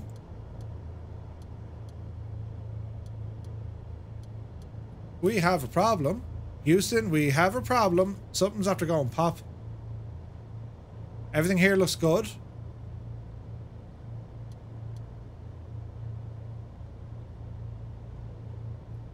Everything appears to be in order. What's over here now?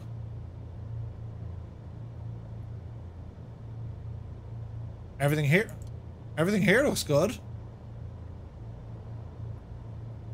That's strange, isn't it? Gyro, yeah. Gyro's working.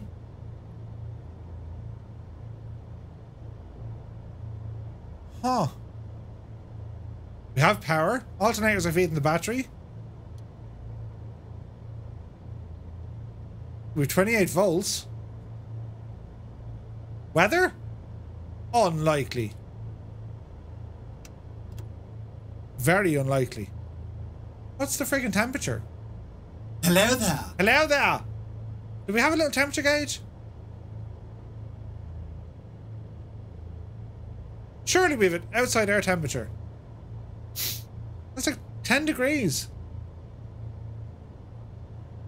There is suction. They've done studies, you know. To look at this 60% of the just time, it Look. works every time. How can I test that? Turn off the avionics for a minute. Turn it back on.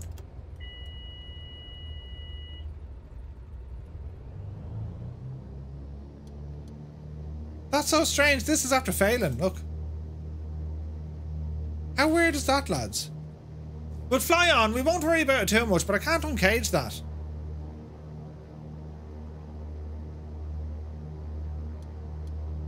Oh no, we're in proper trouble here. Look, this is shagged. Autopilot is gone. Ooh. She ain't liking this. Where's the... Okay, let me see. Fuel, lights.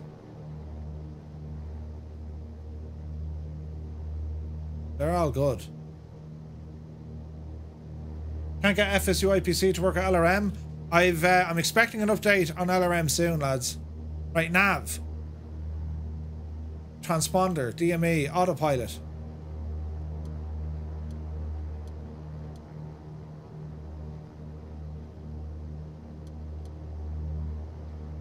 Very, very strange. Let's see what happens when we get airborne, right? I mean, what's the worst that could happen? Do you know what I mean? Right, power coming in. Let's see what happens with the crack. Never had this issue happen before. Hey Gary, good to see you. Speed 90, yep, see Daisy. Positive rate of climb, and indicated. Gear up. We have a hydraulic pressure warning.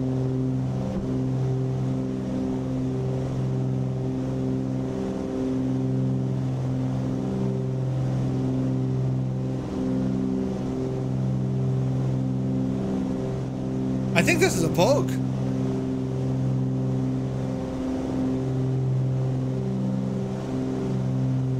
Seven point four point three is broken. Oh wait. Oh, that's FSUIPC, is it? Okay, spin around to the right here. Scroll her up the old uh, trim Murph. Easy now. Yaw dampener's on. Flight director, nothing. Autopilot, nothing. How strange.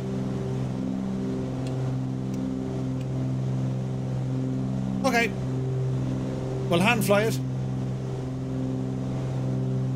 I know this is shocking, but he broke it. I actually don't know what I did. Right, easy does it now. Power back a small bit. I've no significant load on our electrical systems. Gyro's still spinning. Like our instruments are working, just the autopilot looks to have gave up the goat.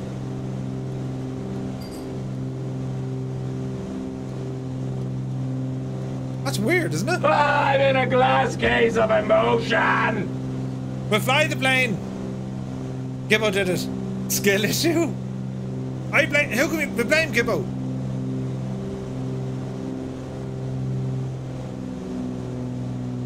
Okie dokie. Get ourselves somewhat lined up here. So we need a heading of 065 degrees and for 63 nautical miles. Okay.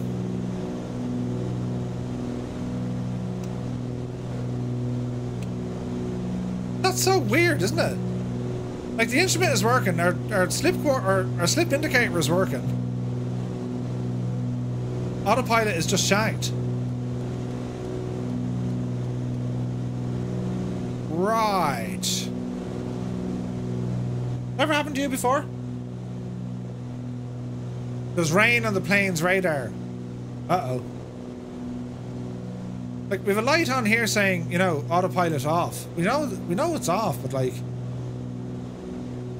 5,000 feet. Can I get a refund? No refunds. Like, which even... It's not like the screen has failed.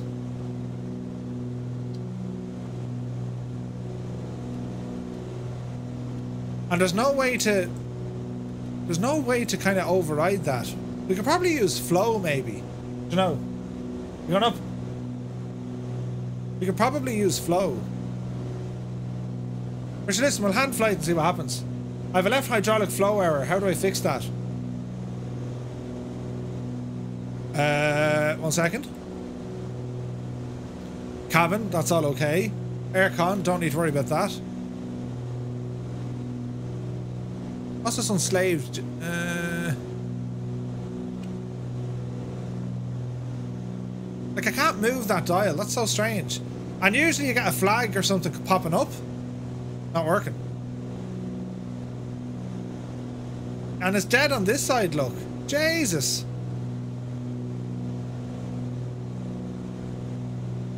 Vertical speed. What's your altitude here? Although I do want to stay above the clouds, right?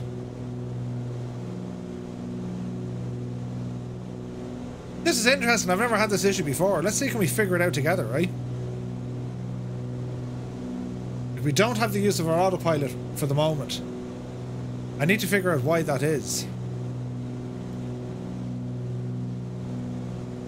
Any thoughts, lads? Should have flown the Beechcraft? this is interesting. How do we troubleshoot this one?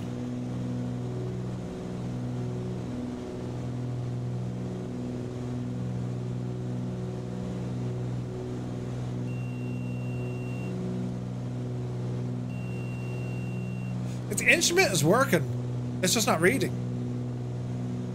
Huh. Rebooting your PC. Oh, Jesus. Check Weather Radar failures page. If this has it. Doesn't have it. Reset avionics power. Try that.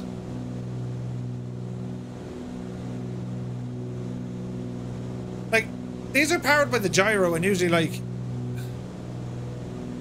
What's this one over here do?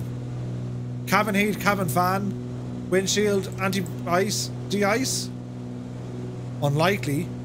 Who's in charge? I don't you know. haven't a clue what you're doing. No problems with the electrics. From what you can see. Our main avionics buses are working, just the autopilot is completely kicked out. But if you notice when we had this problem, the um, the aircraft kind of shook. Start engines in the tablet. Ready to start, start engines. No.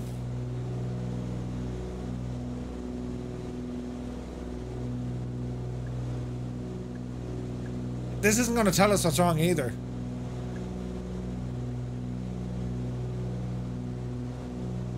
Isn't that weird? Okay, watch her climb here now. Epic Fool, good to see you. Circuit breaker, it's gotta be, but I can't see it anything popped. These guys are all in line. Right?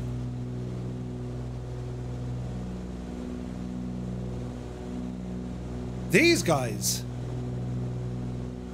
Ah, Jesus, Murphy.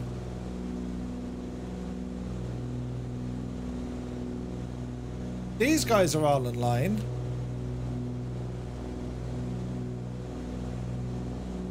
Nothing there sticking out.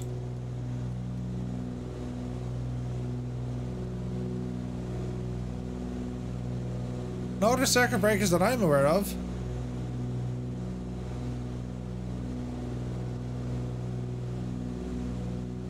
Anything Hello back here? there. There are alternators. Weird, weird. Try restart with a fuse. Tried it. Blame Brexit. Reset the breaker anyway. Pop him out and in.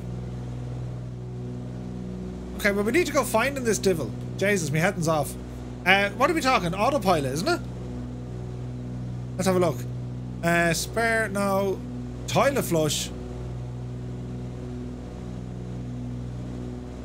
Turn and bank. De-ice. Lights. EGT, engine. Landing gear, fuel, prop saying starter. No, still dead. Uh, Murph, you need to actually press autopilot rocker switch on the lower center pedestal on the throttles.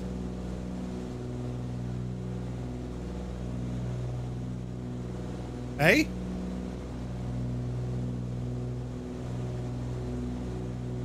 You need to actually press the autopilot rocker switch on the lower center pedestal below the throttles.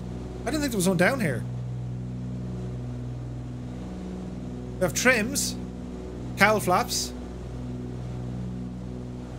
Nothing there. Trim. Trim indicator. Emergency gear handle. Hey, Keen Lafford is here. Good to see you. On, lads. We'll be grand. Nothing to worry about. Uh, fuel, Alpine, autopilot. Yaw dampener. Only some of these work, not all of them.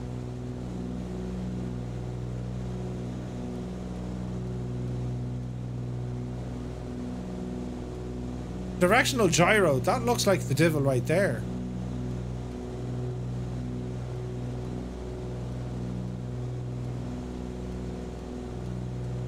Okay, I've cycled all of these. Now, it's did. Did. I think the autopilot switch location depends on which version of the GPS. So, with the with the PMS 50s installed, or the GTN 750s, I don't think I have that button. Unless there's a click spot hidden. Where does it usually live, Gibbo? Because it could be like a bug.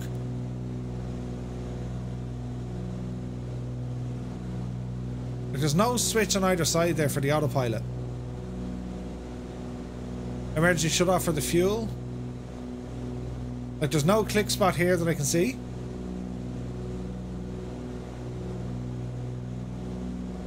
Most unusual. I was in Cork Hospital today visiting and I had to put a face mask on. Jesus. Oh, Jesus, really? Yeah, no panic, no panic. How high are we climbing? Well, we're probably gone too high. We're kind of seven or 8,000 feet. I'm not overly worried with our height for the moment. This is an interesting issue, though. I've never come across it before. I've no circuit breaker popped. I've no failure that I can see other than these guys are shanked. But it's not just one, it's both. So both units have failed. But the gyro is still doing what it needs to do. Most unusual. Like that artificial horizon, that is super important for flying. Like, super. Yeah, I tried cycle the avionics. No dice. Okay, so we can, hang on, look. So here's our flag, right? We turn it on. Flag disappears, letting you know the unit is on.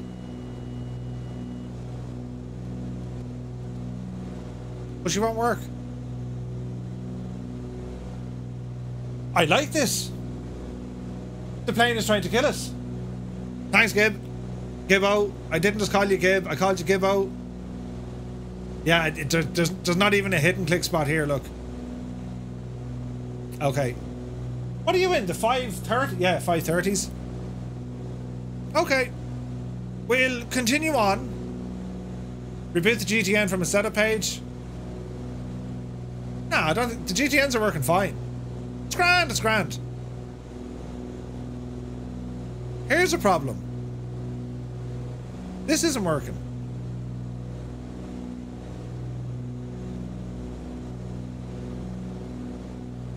That's got to be gyro, right?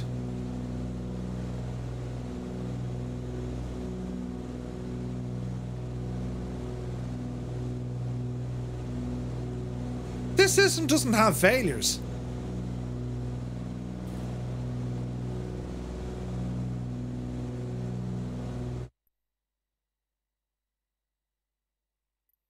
How do you fix failures? Or fix failures. Isn't there a button for that? Hang. Failures. Or repair, isn't it? Repair, repair. Repair and refuel. Let's call it shift or. Uh, what's that for? Action on. You're trying to assign the devices. Right. Time to pull the big switch, good buddy. Who be this? Control Major Tom, welcome in, Raiders. Hope you guys are keeping well. Gib is grand too. Be called for. Sorry, Gibbo. Mr. Gib. Yeah, so I can't repair my systems either. We have an avionics failure, which appears to be caused by some lack of gyro something. But welcome in. Thank you very much indeed for the raid. Hope you guys had a great stream. We're heading towards the Rhine. Cole Art, thank you for the follow.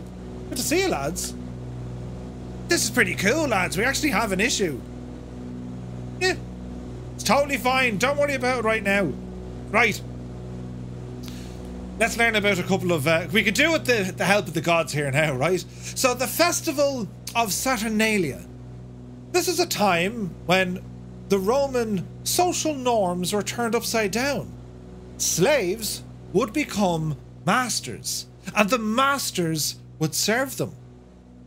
It was a festival full of merriment, and even the most serious of Romans would wear ridiculous clothes and party. Right! The festival of Saturnalia. That's what these lads got up to. Where the masters became the slaves. That's that's hilarious. Anyway, this is the we, we told you about this one before, but consulting the sacred chickens. Before making important decisions, Roman generals would observe the eating habits of the sacred chickens. If the chickens ate eagerly, that was a good omen. If they refused to eat, it was a bad sign. The sacred chickens. The Vestal Virgins and their superpowered spit. Huh?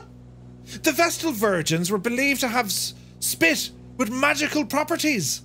If a slave touched one of the Vestal Virgins, they would be whipped. Oh, behave! If the Vestal spit on the slave afterward, the whipping was supposed to magically heal the wounds. What? Yeah, I'm gonna spit in you.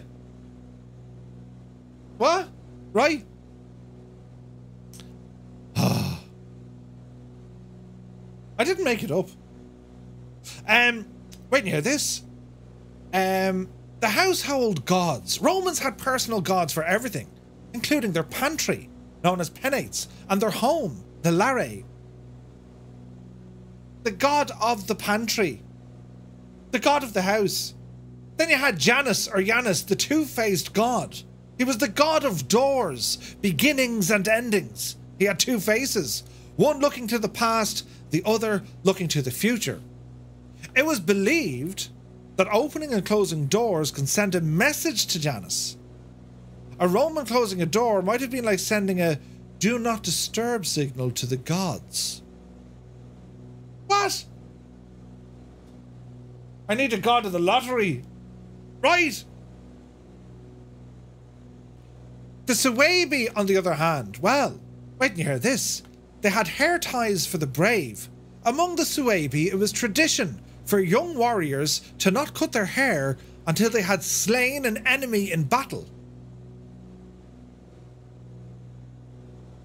How mad is that? And yet history depicts them as being all incredibly friggin' hairy. Now, that means they haven't, like, beaten anyone. They haven't, right?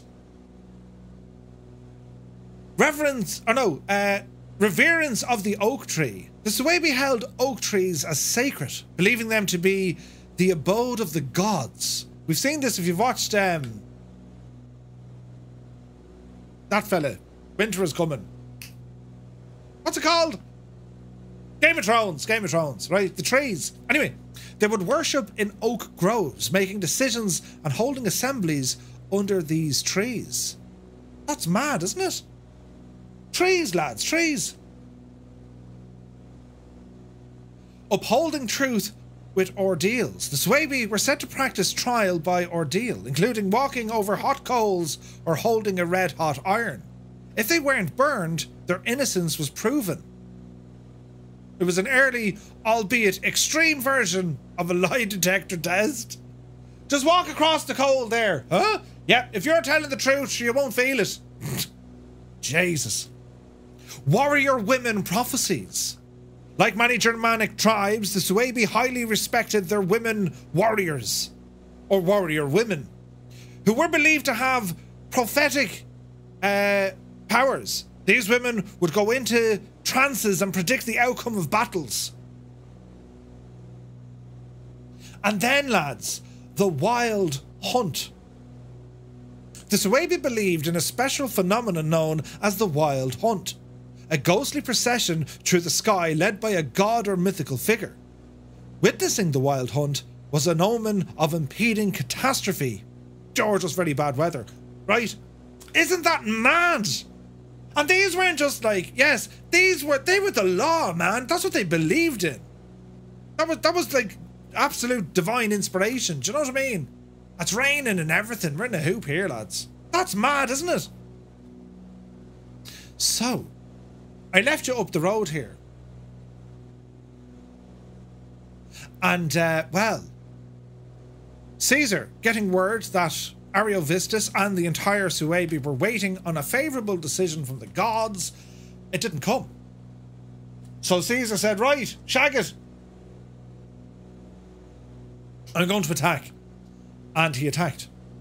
And there was an entire day of fighting.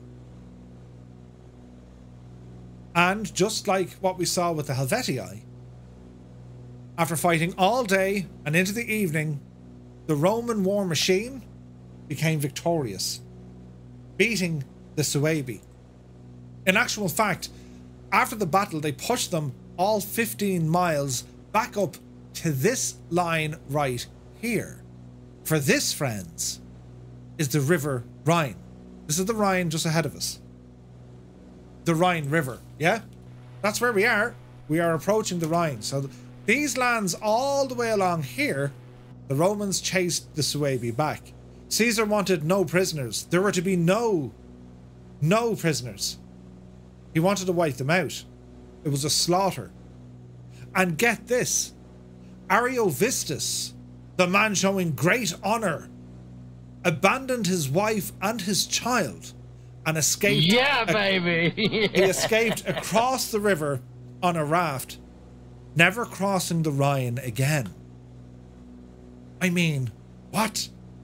He abandoned his wife and child, for which the Romans, you'll do, and he never set foot across that river again.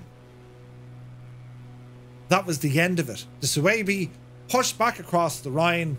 That was the end of it. Caesar defeating the second major army all in one summer was becoming a larger than life character back in Rome. Here's a Roman general who has not only, you know, destroyed the Helvetii, but he's pushed the German or the Germanic tribes back across the Rhine. He was a hero. He was slowly but surely becoming the greatest general in Roman history. And for a very brief moment, the Gauls and the Romans celebrated him. Caesar was the man, man. He was the man. But of course, the Gauls, just what they thought when Ariovistus and the Suebi came over, well, they thought he'd come over, tidy the place up, you know, and then be on his merry way. Thanks very much for your help. Maybe we'll call you. But Caesar had no intentions of leaving Gaul, and his armies were going nowhere. What, like, your first engagements in battle, Caesar's first major engagements in battle, he absolutely nailed it. He pushed back two massive armies, fighting in places the Romans had never fought before. Here's Caesar outmarking new territory, bringing stability to these barbaric lands. It was incredible, absolutely incredible. So we're going to try and land here. And this is going to be hilarious looking because the weather is giving it socks. My plane is not behaving. And there's a good chance we're going to die. Yeah, the Rhine was a bridge too far, right? Okay, I can see lights in the distance. Runway 25 is what we're going for. Pop full. Mixture full.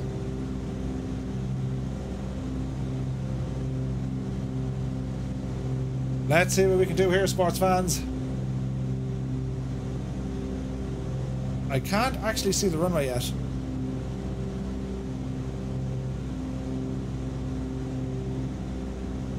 Runway spotted. Isn't that mad, isn't it? Monsieur Allsave, thank you very much indeed with the Twitch Prime. Thank you very much indeed. Cheers, man. Now, someone had a hardware question here a moment ago. Cole Art says, I have a hardware question. What do you think of the Turtle Beach Flight Sim product? The HOTAS is very good. The joystick is supposed to be very good. Um, their yoke system is very good as well, albeit a bit plasticky in places. But it's supposed to be quite good. Anyone see our active runway? What do we say? 2-5? Jesus, the wind. You have to go down this way a bit. I'm debating over Turtle Beach or the Airbus side stick. Turtle Beach is supposed to be very good. I've heard great, great reviews about it. If you head over to, is it G-Lock Media? Do a, go, do a YouTube for G-Lock Media. I think it's G-Lock. I think it's G-Lock. He does flight sim hardware reviews and stuff. He has the Turtle Beach yoke. If you have a look at it, and if you're over there, drop me now a comment to say that, you know, we sent you. I think that's the runway over there. Almost certain. It is now, says you.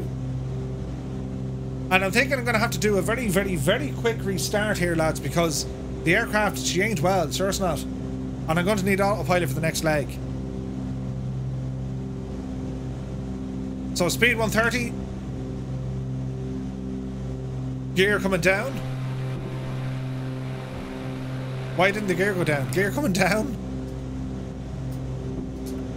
Alright, let's see what we can do here.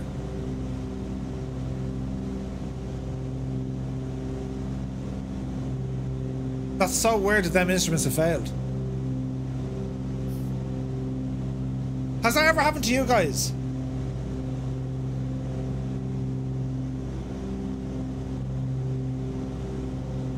Jesus. That was close. Uh, the throttle quadrant from Turtle Beach is amazing. Great trim. Falling up, there you go. Ryan White's autopilot was burst on the first leg as well. Yeah, what's up with that, like? Grant.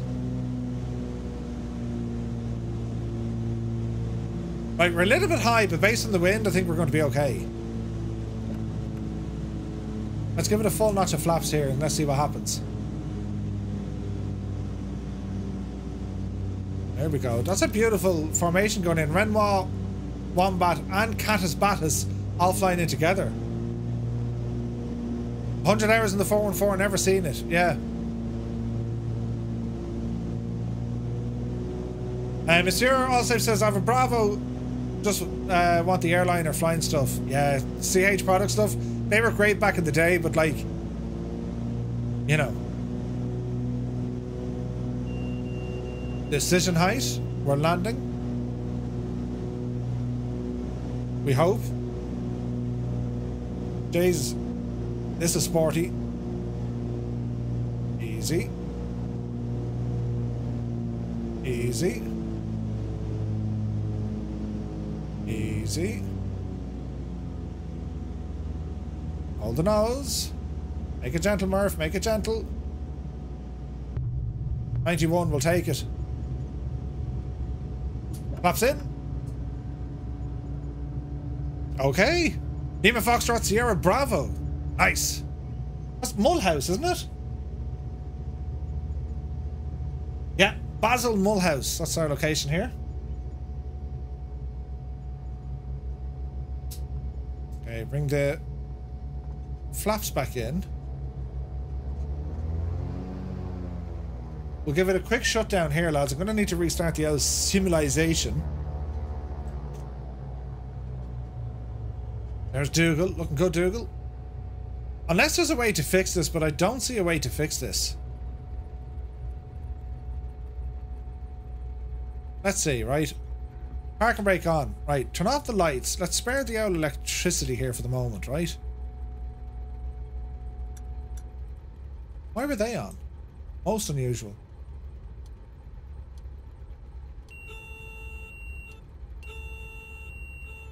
Okay. So the autopilot unit is shagged. Avionics off here for the minute.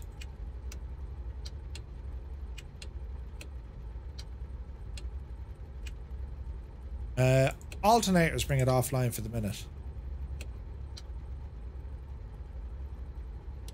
I will shut her down. And let's see what we can do, right? Just as the rain is coming in. Now turn off the battery. Turn on the battery. And get the avionics back in. So there's the flag. Gyro's not spinning. Right?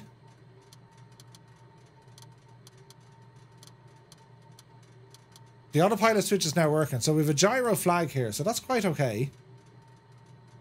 Not the avionics. We'll start the right engine.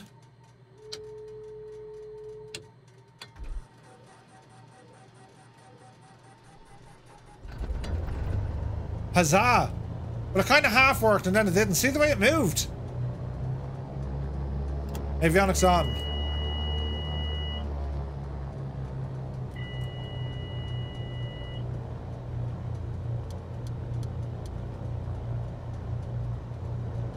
We're getting closer to this. You're having hydraulic issues? See the way one of them come on. Alright, let's try to start the other engine.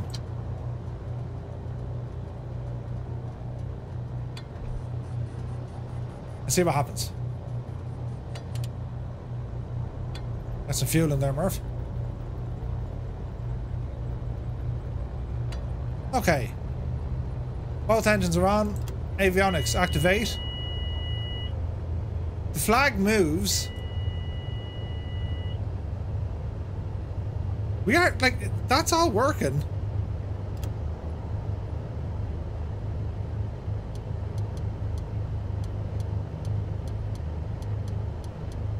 No, she's not working.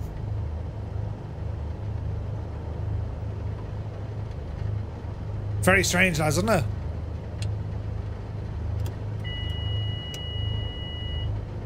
Flight director is not working. But we need the gyro flag, to be honest.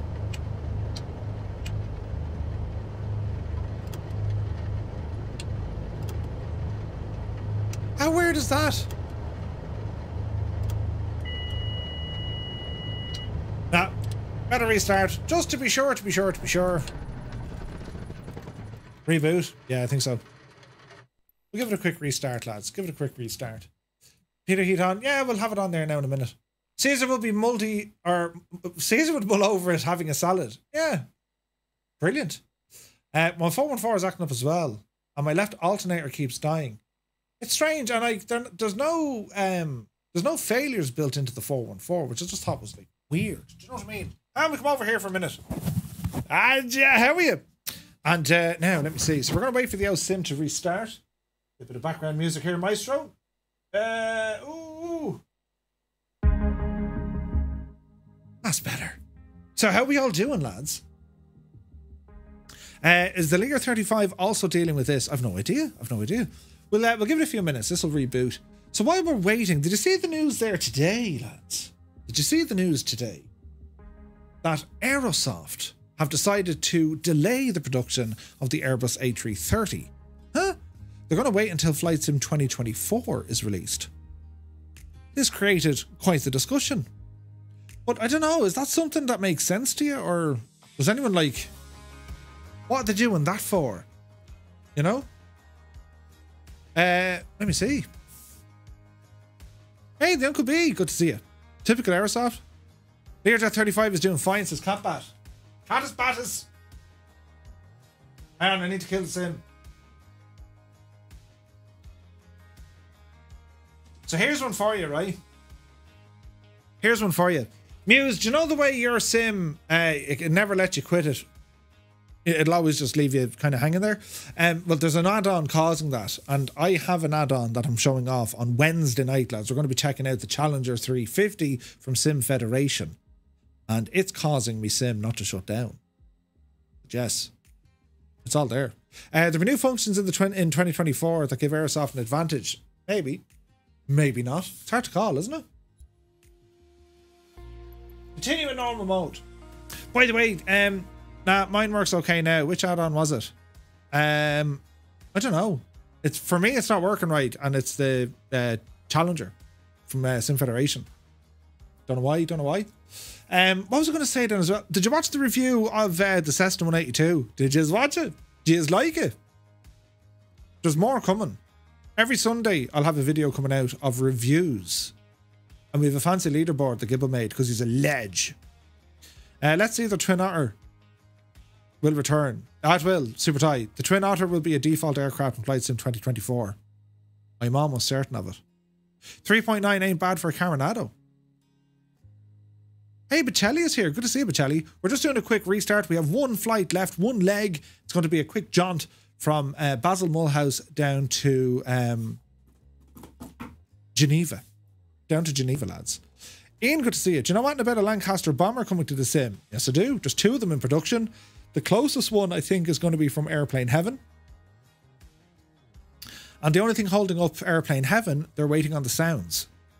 I would expect to see that.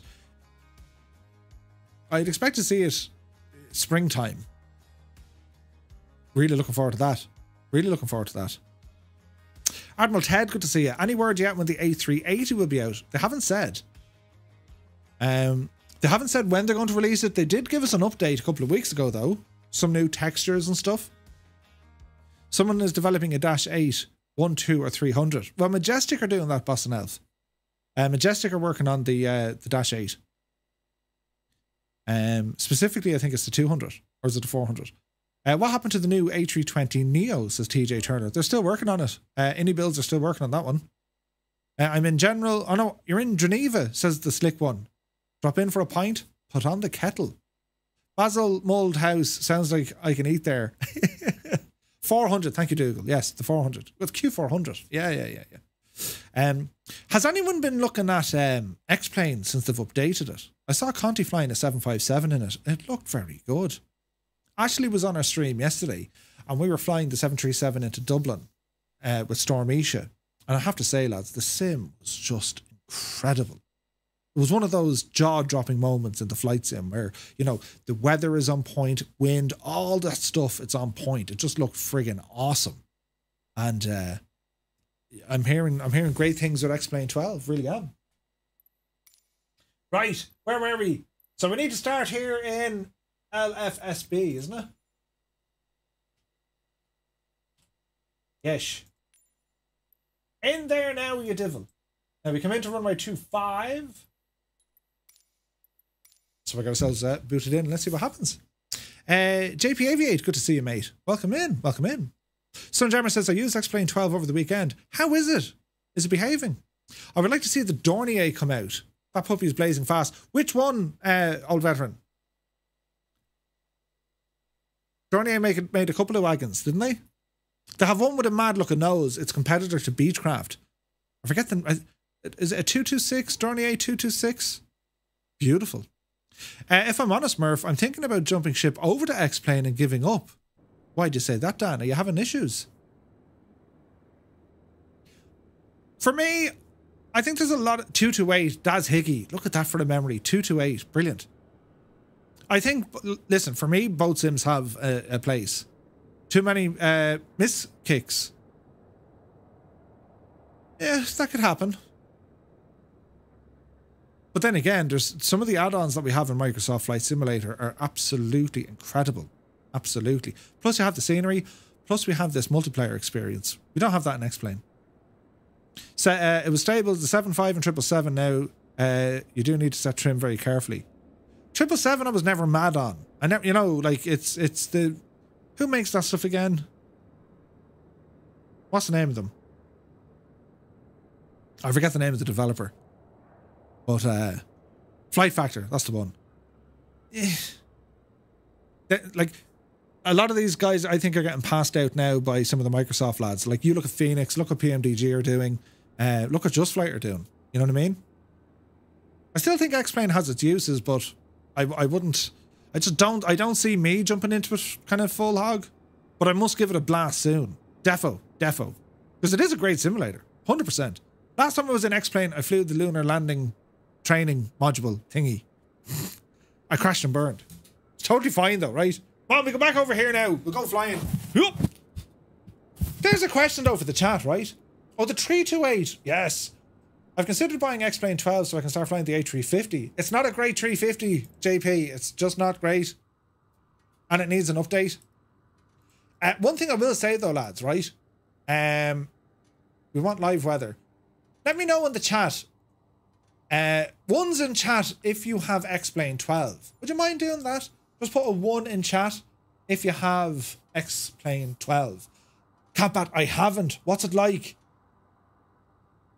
Uh, Microsoft Flight Sim is, in my eyes, an Xbox game. Been playing it since it came out, and I've always been Microsoft, but it's just lost its spark for me now. You're sick of the update issues, and and you know what? It's just not gripping me anymore. Fair enough, Dan. I mean, look at, isn't it great that we have the option?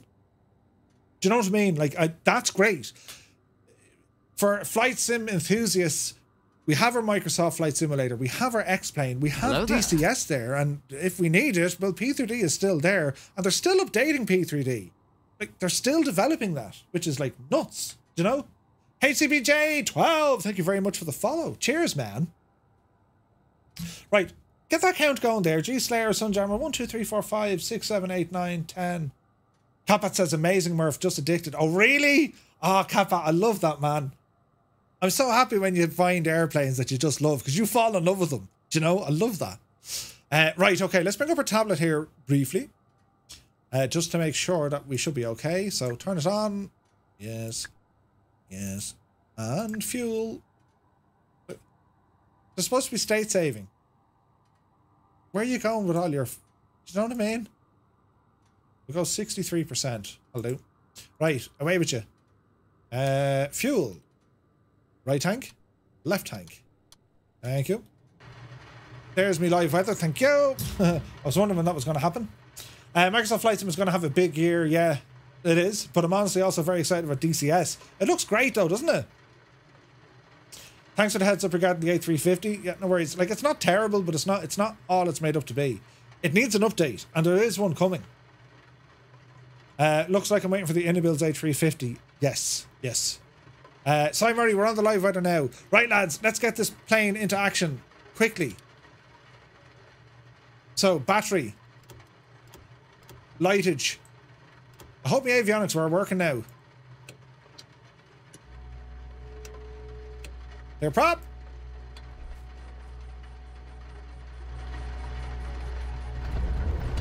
Huzzah! Stuff is working.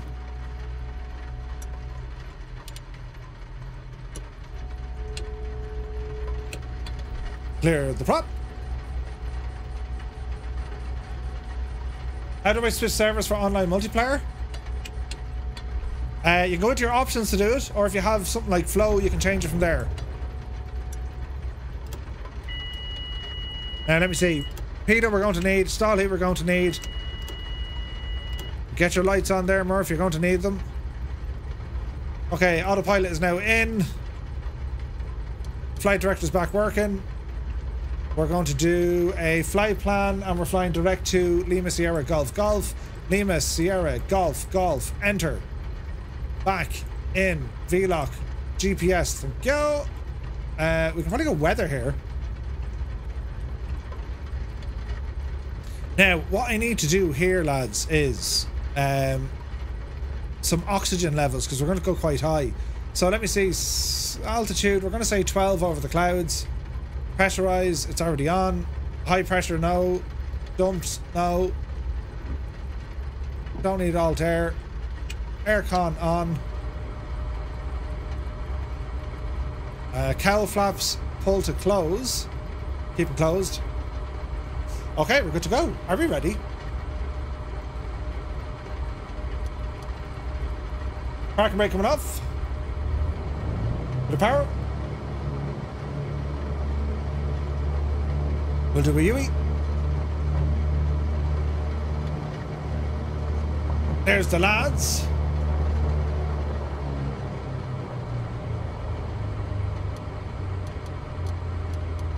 All right. Weather radar is working. Even though it's only looking at preset, but that'll do us. Uh, we're on the Southeast Asian server, lads. Come on and join us. It's, it's one little jaunt. It'll take us probably about half an hour ish. We're good for time. And we're going to taxi on out. Everything's working fine. We'll put that down to a bug. Look at Renoir and uh, and Wombat over there and those 339s, look. Is that the Saudi uh, livery? It's really nice, isn't it? Okay, not just flaps for takeoff. Altitude, we're going to go high here. I want to beat the clouds. So we're going to bring her up to 12,000 feet. Thank you. Got the vacuum system unclogged. I don't know what the story was. All we knew was we had a problem, there was no way to fix it. Which is strange. And like even a repair system wouldn't work. Oh, this weather's going to be gorgeous on takeoff. Look at this, lads. Jesus, that looks very real, doesn't it? I'm not mad about my camera there. Hang on.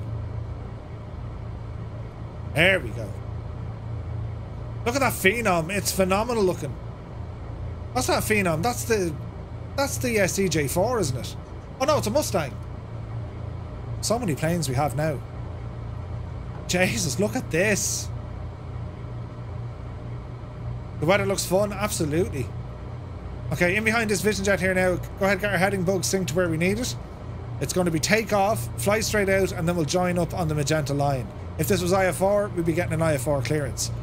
Okay, quick check. So we are walking, we're talking, flap set, and we're about to get walking, talking, and squawking. Are we ready? Okay, sports fans. There goes the Vision Jet. Power coming in.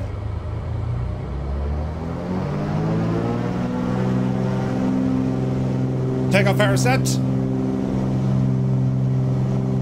Speed live.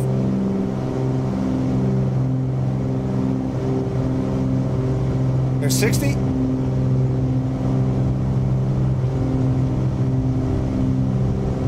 There's 80. 90. Oopsie daisy.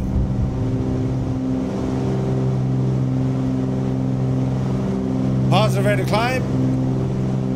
Gear up. Tapping our toe brakes. Through the rain.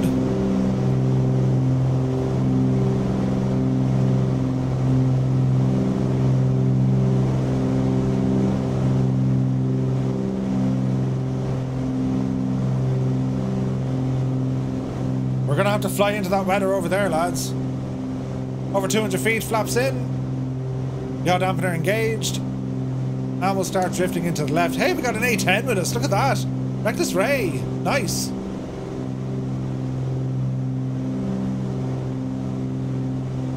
Temperatures and pressures all in the green. Airspeed 110. Vertical speed 25. Altitude 15. So far, so good. So far, so good. Or as we call the straight wing citations, flying speed bumps. Uh. Okay, let's get ourselves set up here. We'll jump over to our autopilot. So a bit of trim. We're going to go V speed. We're going to hold a thousand feet per minute.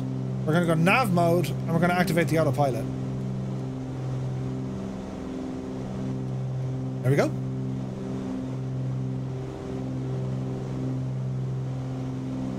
We're going to land the lights in.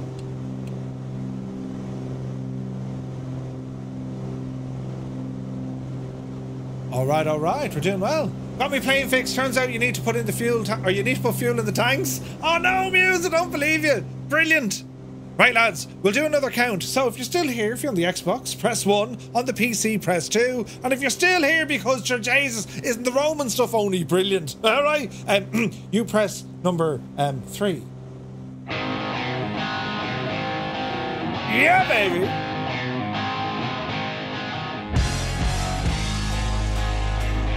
Would you look at that for weather?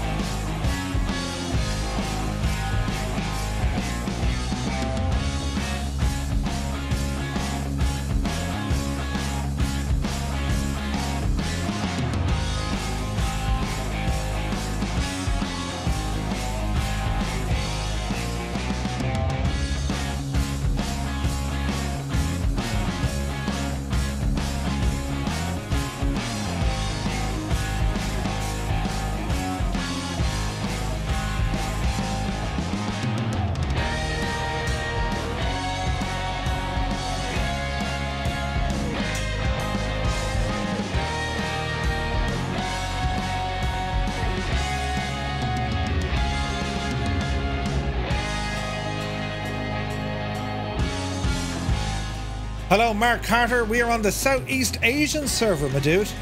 Come on, fly.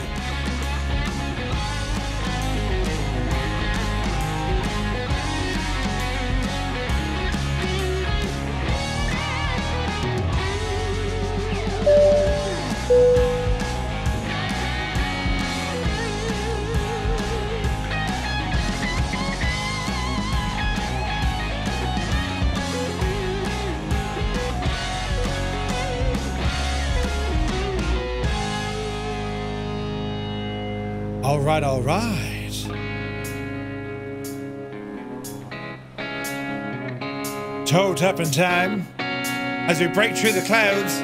Look at the state of this. We're 29 on the PC and 1 on console.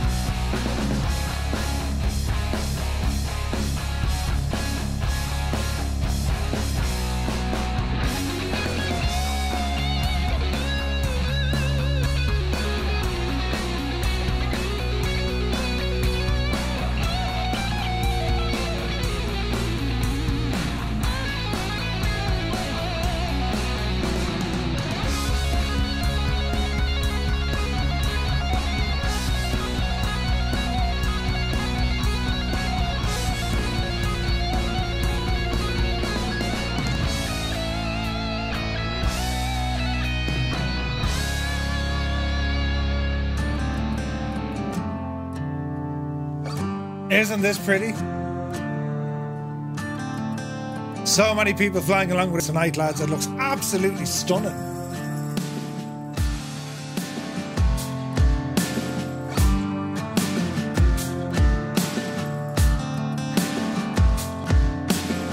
The Jura Mountains.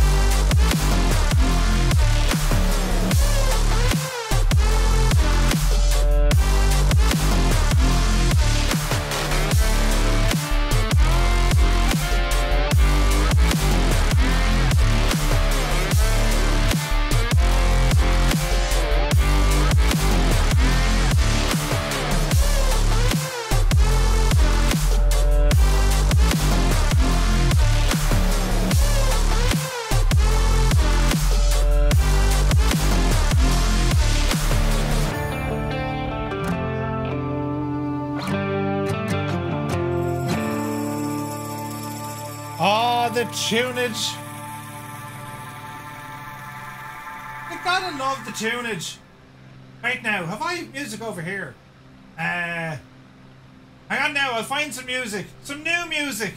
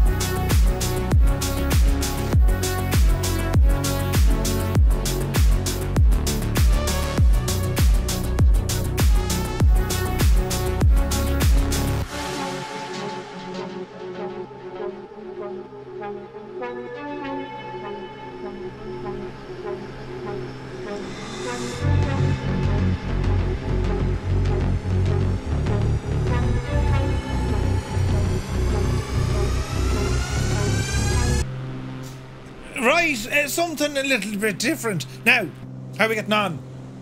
Uh, let's have a look here. So, EGT is probably a little bit low, so let's uh, these lads back a smidgen. RPM back a smidgen. And I think we're okay. 12,000 feet indicated. We're doing alright. 20 minutes out, ground speed 209. You couldn't have planned it any better, lads. Beautiful. So all is uh, all is well in the realm. We've another review coming out uh, on Sunday. So uh, do be sure you check that one out. And every other Sunday. Yeah. Um. Jays, look at that for the view. So I have um what else have we to do? This week now on Wednesday's show, we're checking out the XF11. That's an upcoming release by um Flying Fleet. Lord Fleet. Them lads. The developer who brought us the uh, Scrappy Monster. Flying Fleet, I think it's called. Anyway, uh, we're going to be checking that one out. We're also going to check out the Challenger 350. Um, Marv, is the Sunday review is going to be just about aircraft or tools and sceneries too? I'm going to start off with um, I'm going to start off with aircraft, but I will be adding in other stuff later on. There's a ton of aircraft there, and like it's it's it's no harm checking out some of the older airplanes because how do they stack up today? Yeah, baby.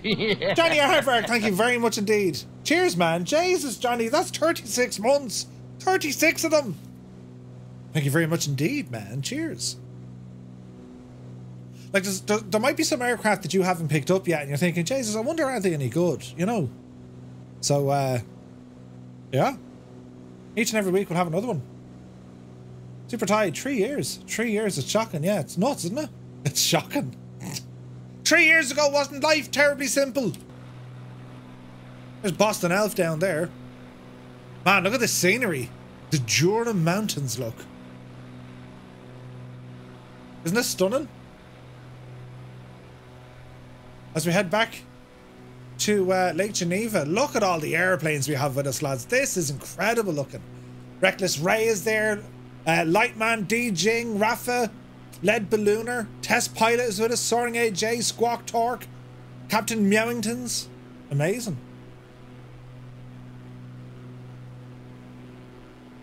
That's a pretty sight right there, isn't it? Beautiful.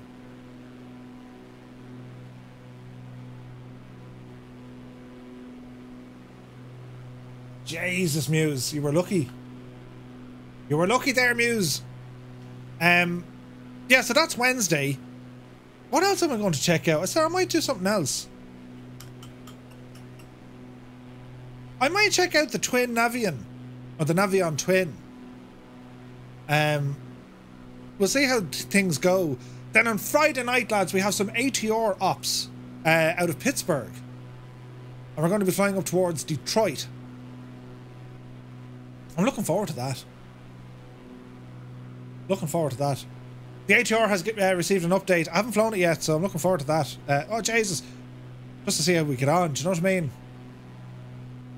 Aegitus. I like that. Hey, Joey Bolo. Good to see you. Round window vibage. Joey, great to see you, mate. Joey, are you going to Vegas? Are you going to Vegas, Joey? Tell us all about it. So next week, lads. Um. Well, before we get to next week, the Roman reorganization and, con- and consolidation. So Caesar has beaten Ariovistus. He's beaten the Suebi. So after the defeat of the Suebi, Caesar focused on fortifying the Roman positions in Gaul. This involved building fortifications, establishing supply lines, and integrating local Gallic tribes into the Roman framework. Caesar established a winter quarters for his legions, a strategic move to maintain a Roman presence and to keep his troops ready. This wasn't just a military decision, but also a clear message that Rome's influence in Gaul was here to stay. As you could have imagined, the inner relief and joy of many Gallic tribes initially threatened by the Helvetii and then the Suebi, well, they rejoiced Caesar's victories. They saw him as some sort of a liberator who had protected them. The relationship between Caesar and the Gallic tribes was complex and nuanced. While they were grateful for his intervention, the alliance was more out of necessity than genuine loyalty. As the immediate threat faded, the Gaul sentiment towards Caesar and his legions began to shift. The prolonged presence of Roman troops and Caesar's intention Yeah, to stay. Yeah. signaled a looming threat to their autonomy and way of life. Cy- Cyrus T is here for 20 months. Thank you very much indeed. Great to see you, man. How are you? So, Caesar had no ambitions to leave Gaul whatsoever, right?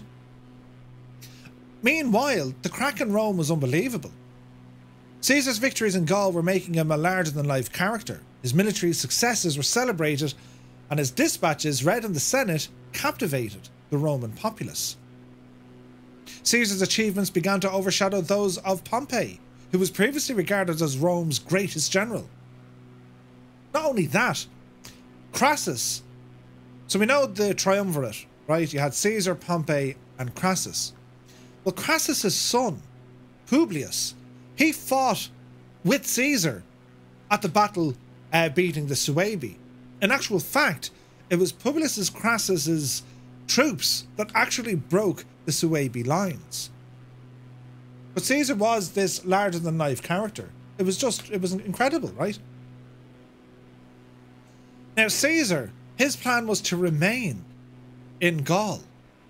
And next week, in the next stage of our series, part five, we're going to witness Caesar's northern campaign against the Belgae, the Belgians.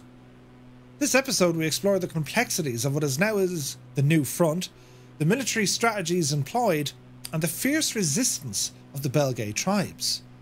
And as Caesar moves further north, we'll see how his actions in Gaul continue to shape his legacy.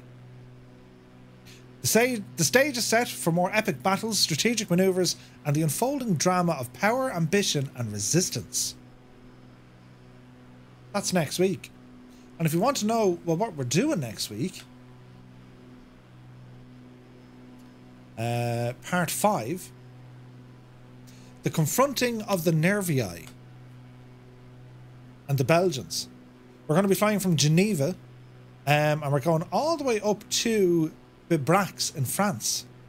We're going to be flying the Shorts 360 by Black Box Simulations, something very, very different. After that, we have part six, that's the Veneti, or the Veneti, that's going to be over at Normandy, and we're going to be flying in the FSR 500. Part 7, when we cross the Rhine, that's going to be in the TBM 850. Part 8, the invasion of Britain, and we're going to be flying in the Pilatus PC 12. Then, Part 9 is the showdown with Vercingetorix. There we fly the Douglas DC 6. And then Part 10, Alea Iacta Est, the die is cast. We head back to Rome flying in the Vision Jet. So we're, we're nearly at the halfway point of this series. Hope you guys are enjoying it. It's not everyone's cup of tea. Mainly Gibbo and probably Muse now at this stage. Because Muse fam informs us Robert Paisley was an English footballer and manager who spent over half his life associated with the Liverpool Football Club in various capacities, such as serving as the wing half, coach, and manager. After retiring from playing, Bill Shankly went on to become the club's manager, as was the case with Joe Fagan, Kenny Dalglish, and or they also had a prosperous playing career with the team before transitioning into the role of manager. Thank you, Muse fan. Right. Joey Bolo says, I once fought with Caesar. The Roman. Wait. The Roman. The Romains didn't like it? I didn't see it coming? Romanese? Murph, I've a good idea of how much work you put into these flights. Mucho respect. Thank you very much. Dougal, that I appreciate. Just to put things into context, lads. I so far have written. Why wasn't I better in school? I've so far written, well, typed 18,658 words across 47 pages. That's where my research has gone into this. I love it because I learned stuff as well. I, have learned a ton of stuff on this entire expedition, you know? Um, and it's a lot of fun. So, our next two Monday night series are well in the planning, and uh, there's a lot more content coming. I was never good at salad jokes, always a toss up. to subscribe to Muse Facts, text Lost Will to Live to 81080. Thank you, Hemmingbird. Brilliant. Those two have industrial earmuffs on. Oh, yeah. Um, they say that if you want to learn something, teach it. Very true. 100%. Can't remember the one that I brought, or that I bought while over there in the distillery. Took a trip down the whiskey trail. Oh, nice. Uh, we almost have Roman blood. We've been roaming around the sky for at least three years. There you go. Roaming. roaming. Yes, we're roaming. But, um, yeah, I'm still working out. There's, there's, there's another we're still some weeks away of our next Monday night series. Um, but I'm looking forward to it. It's it, it won't be as long as this. It's not a ten part. We'll probably do it in six parts. And uh, well, there's a challenge. That could be interesting. And then after that, uh, there's a friggin' massive project because Gibbo uh, just today kind of rekindled my enthusiasm uh, for getting the thing uh, up and running. So um, yeah, that's on the way as well. Sure, it's very very easy for me to teach stuff because my name is Murph and I read everything. Ah, oh, Jesus, Keen. He doesn't say much, but when he does, ooh, I've just been keened. Um, have you watched the Roman legions on the march of the uh, YouTube? It's fascinating. Uh, um, I'm not sure, Kozaki. I'm not sure. Hashtag 12 billion 202,000. Jesus. Um, no, look at lads. I, I love I love history, and Roman history. I've, I've, i love Roman history, and my sim has just paused, and now we're okay again. Um, I absolutely love it, and I love learning more and more about it. I've been to Rome a good few times, and it's just yes, I could bore the absolute ears off you. Look at the Alps in the distance. Look at the state of the, hang on. Look at the state of ah Jesus, would you look at the state of that? That is beautiful. Friggin' beautiful. Screenshot to be Jesus. Yes. Um, I love Roman history and learning about it. It's cool. Also, Murphy is the law. Murphy's law, indeed. A45. Good to see you, man. Well, we've touched on stuff over the past. There's another. There's a. There's a load of content this year. There's friggin' lots of content this year. Started January fairly lively, fairly lively. Do you know? Between the reviews and the streams and the whatnot, uh, you'll be sick of me. Don't worry, you will get sick of me. Um, but yeah, no, we have uh, the ancient wonders of the world. That's going to be a, a Monday night series. There's loads of stuff happening this year. Do you know? Right, we're going to start descending now. That is Lake Geneva, friends. Lake Geneva. Hello there. Hello there. Who is this? Thank you for following. Uh, Dilatron, you're very welcome in. Okay, bring us right down here, Murph. Uh, all the way, please. Vertical speed, nose down, and let's call it 1500 feet per minute. Uh, and watch for speed as we do this. So dial the power back. Yeah, baby. yeah. Bennett, thank you very much indeed. Subscribing to the channel, 13 months. Cheers, man. Thank you very much indeed. It's not that you could board the Absolute Ears office. You have bored the Absolute Ears office. hey, Arch NDA, good to see you. Great to see you, mate. How are you? This year is going to be amazing. It really is, man. It's, it's like this is the year of everything. Brand new flight sim around the corner. It's like brilliant. Murphy's Law plus gravity equals the dynamic duo. I like that. A4S is using, or sorry, A45 is using DirectX 12 tonight for the first time. Looking good. Nice. I'm grand, relaxing before Thursday gets here. What's Thursday, Arch? Tell me. What are you doing on Thursday? Um. Yeah. Keen, were you here earlier when I spoke about the sacred chickens and the Vestal Virgins and the other stuff? This is stuff you need to go back to your teachers. I know me stuff. You tell them. Do you know? That's what you need to do. But uh, yeah, I will be working, but something may be on the market. Oh, I will be working, but something may be on the marketplace on Thursday. Is that what I think it is? Uh, Murphy's shown the Irish are cultured and have good interest in history, showing it's not all wellies and Guinness. Good man, Sunjammer. Kane says I wasn't. Looking forward to the paid update for Microsoft Flight Sim. Test pilot, brilliant. Um,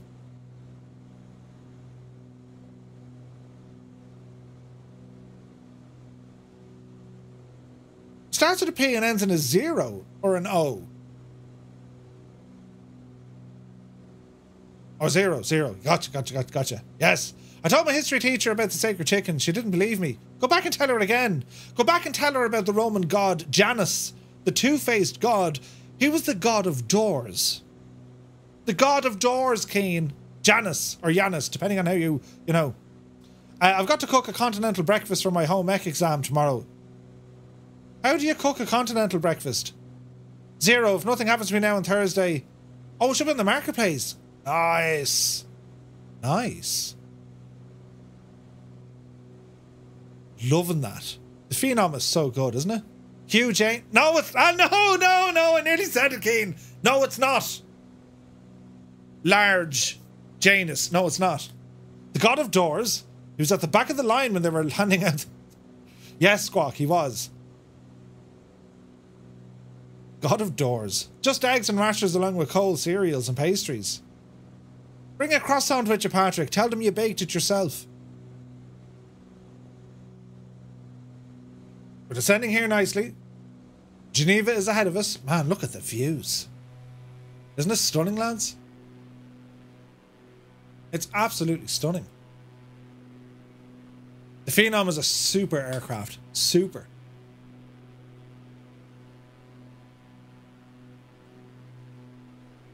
Um, yeah, I can't wait. Can't wait to get that. Hey, Frick Bick is in a MiG 29. Uh, Janus is the god of beginnings, gates, transitions, times, or time, uh, duality, doorways, passages, frames, and endings. There you go. There's a god for everything. Probably one for the little stringy bits and bananas. There absolutely could be. RF has become a member. Thank you very much indeed. Welcome to the family. I should do that in like a Marlon Brando. Welcome to the family. Kind of thing. Do you know? and get some Doritos. Could you imagine me if I was in the mafia? Jesus, that wouldn't last. Italian mafia now, you know, not the Irish mafia, uh, because I'm already in that. Uh, I got some great ideas for you when you come uh, to the meeting. Thank you, Viper. Do you have a rough idea when you plan to arrive at Expo? The Wednesday, I think, Arch. I think I'm in on the Wednesday. Keen. Spotted that a mile away, Keen. And they're Wednesday to Monday, I think. Yeah, I'm there Wednesday to Monday. I get in Wednesday afternoon and I bug out Monday morning.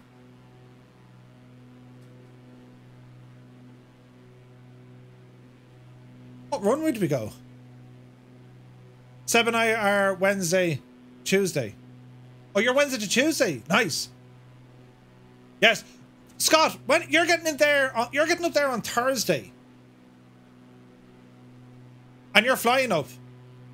So let me know what time you're in at, and sure, I'll. My guy who brings me, I'll tell him to go around and grab you. My God. Uh, you got me googling Janice. Jesus, I'm here learning like a mad Egypt. Come on, JP, that's the way to do it.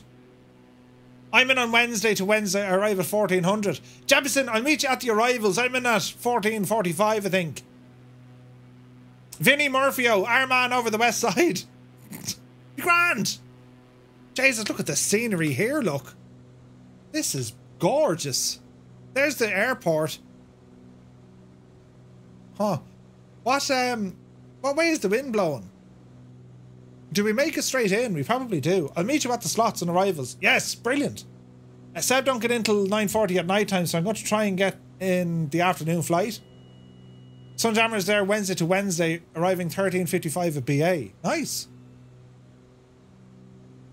It's the airlines. You get in when, yeah, when they want, that's when you get in. 100%. I'm, uh, who am I with? I'm at United. I'm going via, um, I'm going via uh, Chicago. Yeah, Chicago.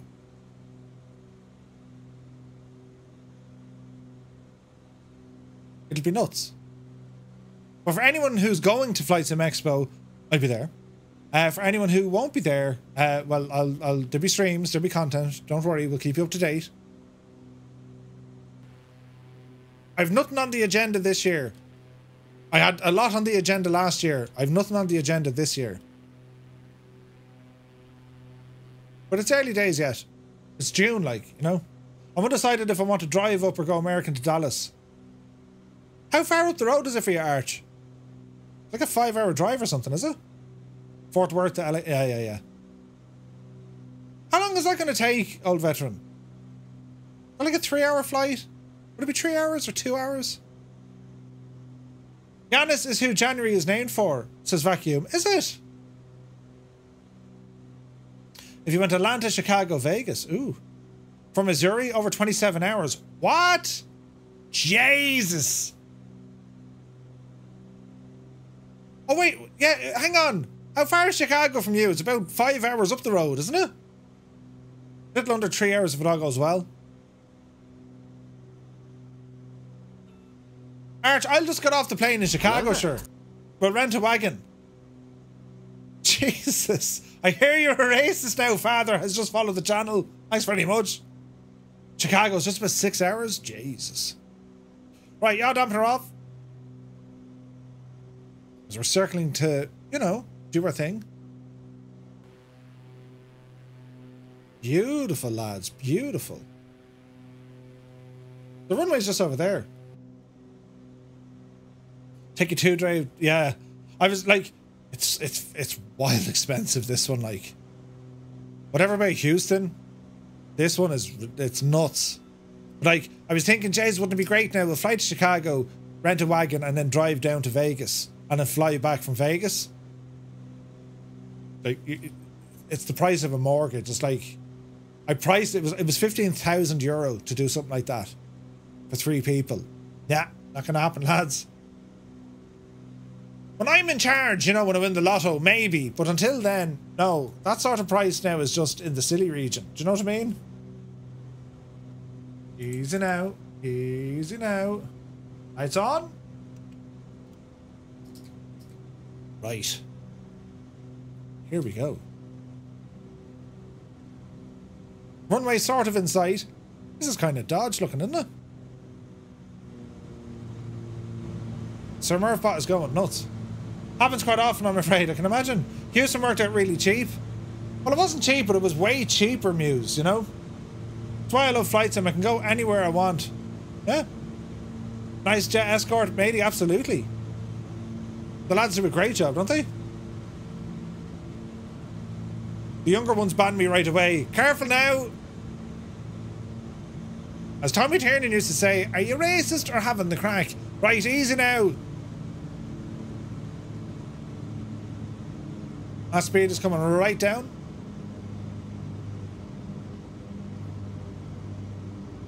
It's windy.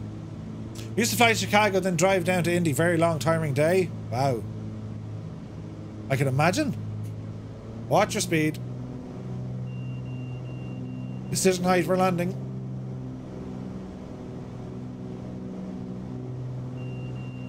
Easy now.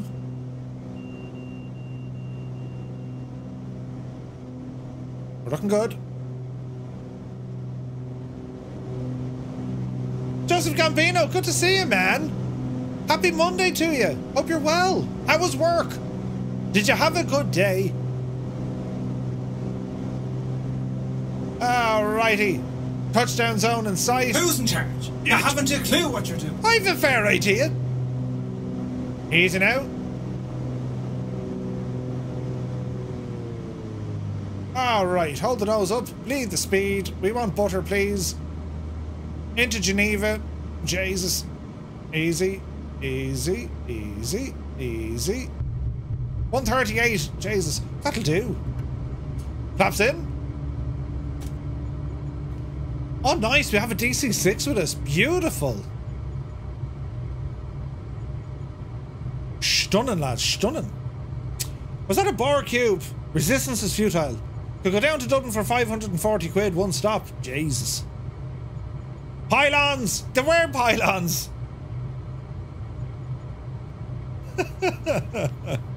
Hang on, we'll come back to you now in a second, lads. You look absolutely fantastic. Lined out down the runway now for all to see. Slow it down now, Murphy. Slow it down. Slow it down. They've done studies, you know. 60% of the time, it works. Every time. Every time. Dublin to Vegas, one stop, 540 quid. Ooh. I was looking at prices there. Um, Mr. Two Tone did me an absolute solid. Uh, that's how I'm going. Because, to be honest, it, it was kind of on the cards, but not, you know, fully. So, uh, yeah. Muse fan, you made it. Brilliant. Great success. Would you be Yui here now and check out everyone? That was some crack, lads, wasn't it? Easy. Easy. Look at the Vulcan. Doesn't it look fantastic? Right, lads, you know the drill, right? What needs to happen here now, flash your lights like an absolute, you know, mad thing. And we need better lighting here so we can see everybody. So flash your lights. Move the freaking... I'm not using frame gen, actually, Joseph. No, no, this is all... Uh, it's DLSS. Uh, flash your lights. Move your rudders, elevators, flaps, the whole shebang, lads. And uh, well, let's have a gawk at everyone here as we uh, maneuver down the runway, shall we? So, waves and kisses and everything into the chat. Oh yeah, by the way, as many friggin' emotes as you possibly can. Oh no, your iPhone died. 2015 iPhone. Really? You got that long out of it? Canoe head. Uh, right, lads. And here they are.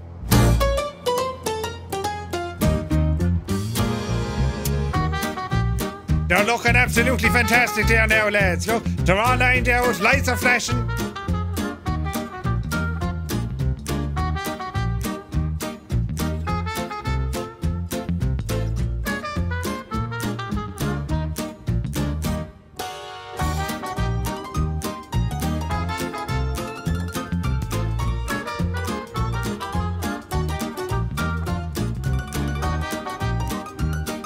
That doesn't look odd at all.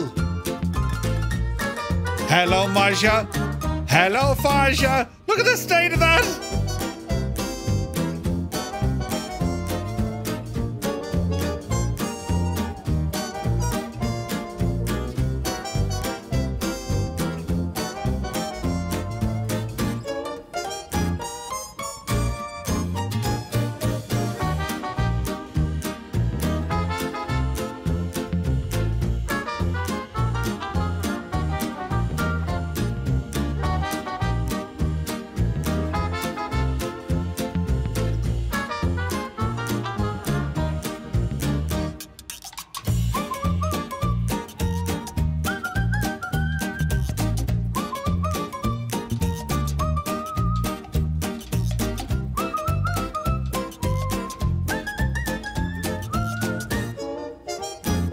You need the freeware scenery of uh, of Geneva. Yeah.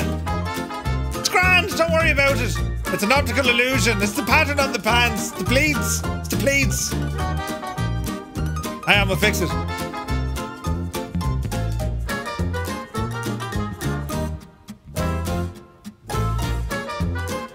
We'll zoom out now so we can get your names in. Ah, sure, this is only brilliant. Oh, Jesus, fallen up brought that gadget with him. Look. Right. Let's do it this way so we can see everyone. Are we watching here now? Flashing lights.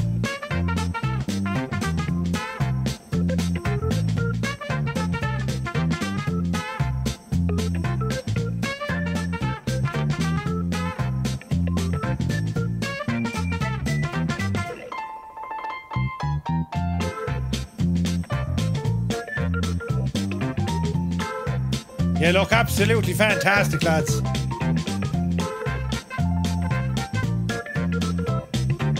So many people flying tonight, though, right?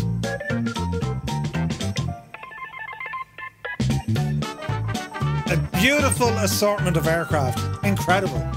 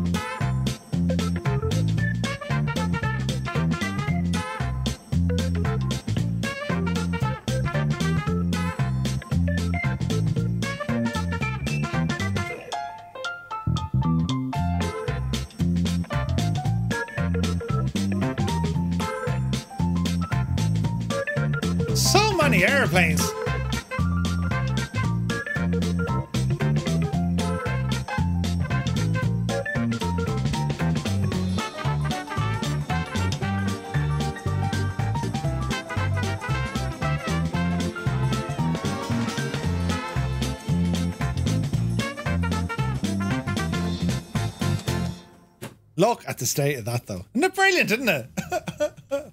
brilliant. Right, lads, that's going to conclude our flight for this evening. Thank you so much for tuning in and for flying along. I love seeing this variety of different air, uh, airplanes. The variety is just stunning.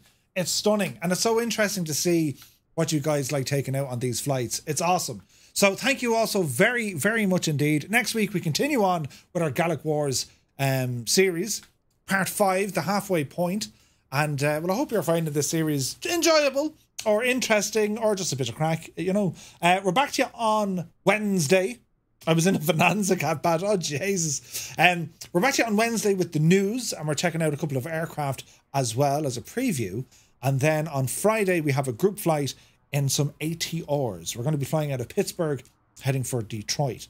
So, um, should be a lot of fun. So keep your eyes on the normal social medias. There'll be updates happening throughout the week with photos and videos and all sorts of jazz, and another review incoming this Sunday. So um, that's the story now, lads. I'm off to lie down and uh, we'll call it a day. So to all the raiders who rambled in, thank you very much. To everyone on YouTube, thank you so much for the support, subscribing, and um, we got we got all sorts happening there. All the likes and stuff were pressed. Uh, and to all of us here on Twitch, thank you so very much indeed, lads. All the new subscribers and resubscribers, I very very much appreciate it. So enjoy the rest of today and tomorrow, and we'll catch you on Wednesday for the halftime show. Until then, take care. Gotten on Oh, I was just about to score. Give Ireland, you have been beaten 13 2. Wait now, did I score more goals in this game than you did in the last two combined?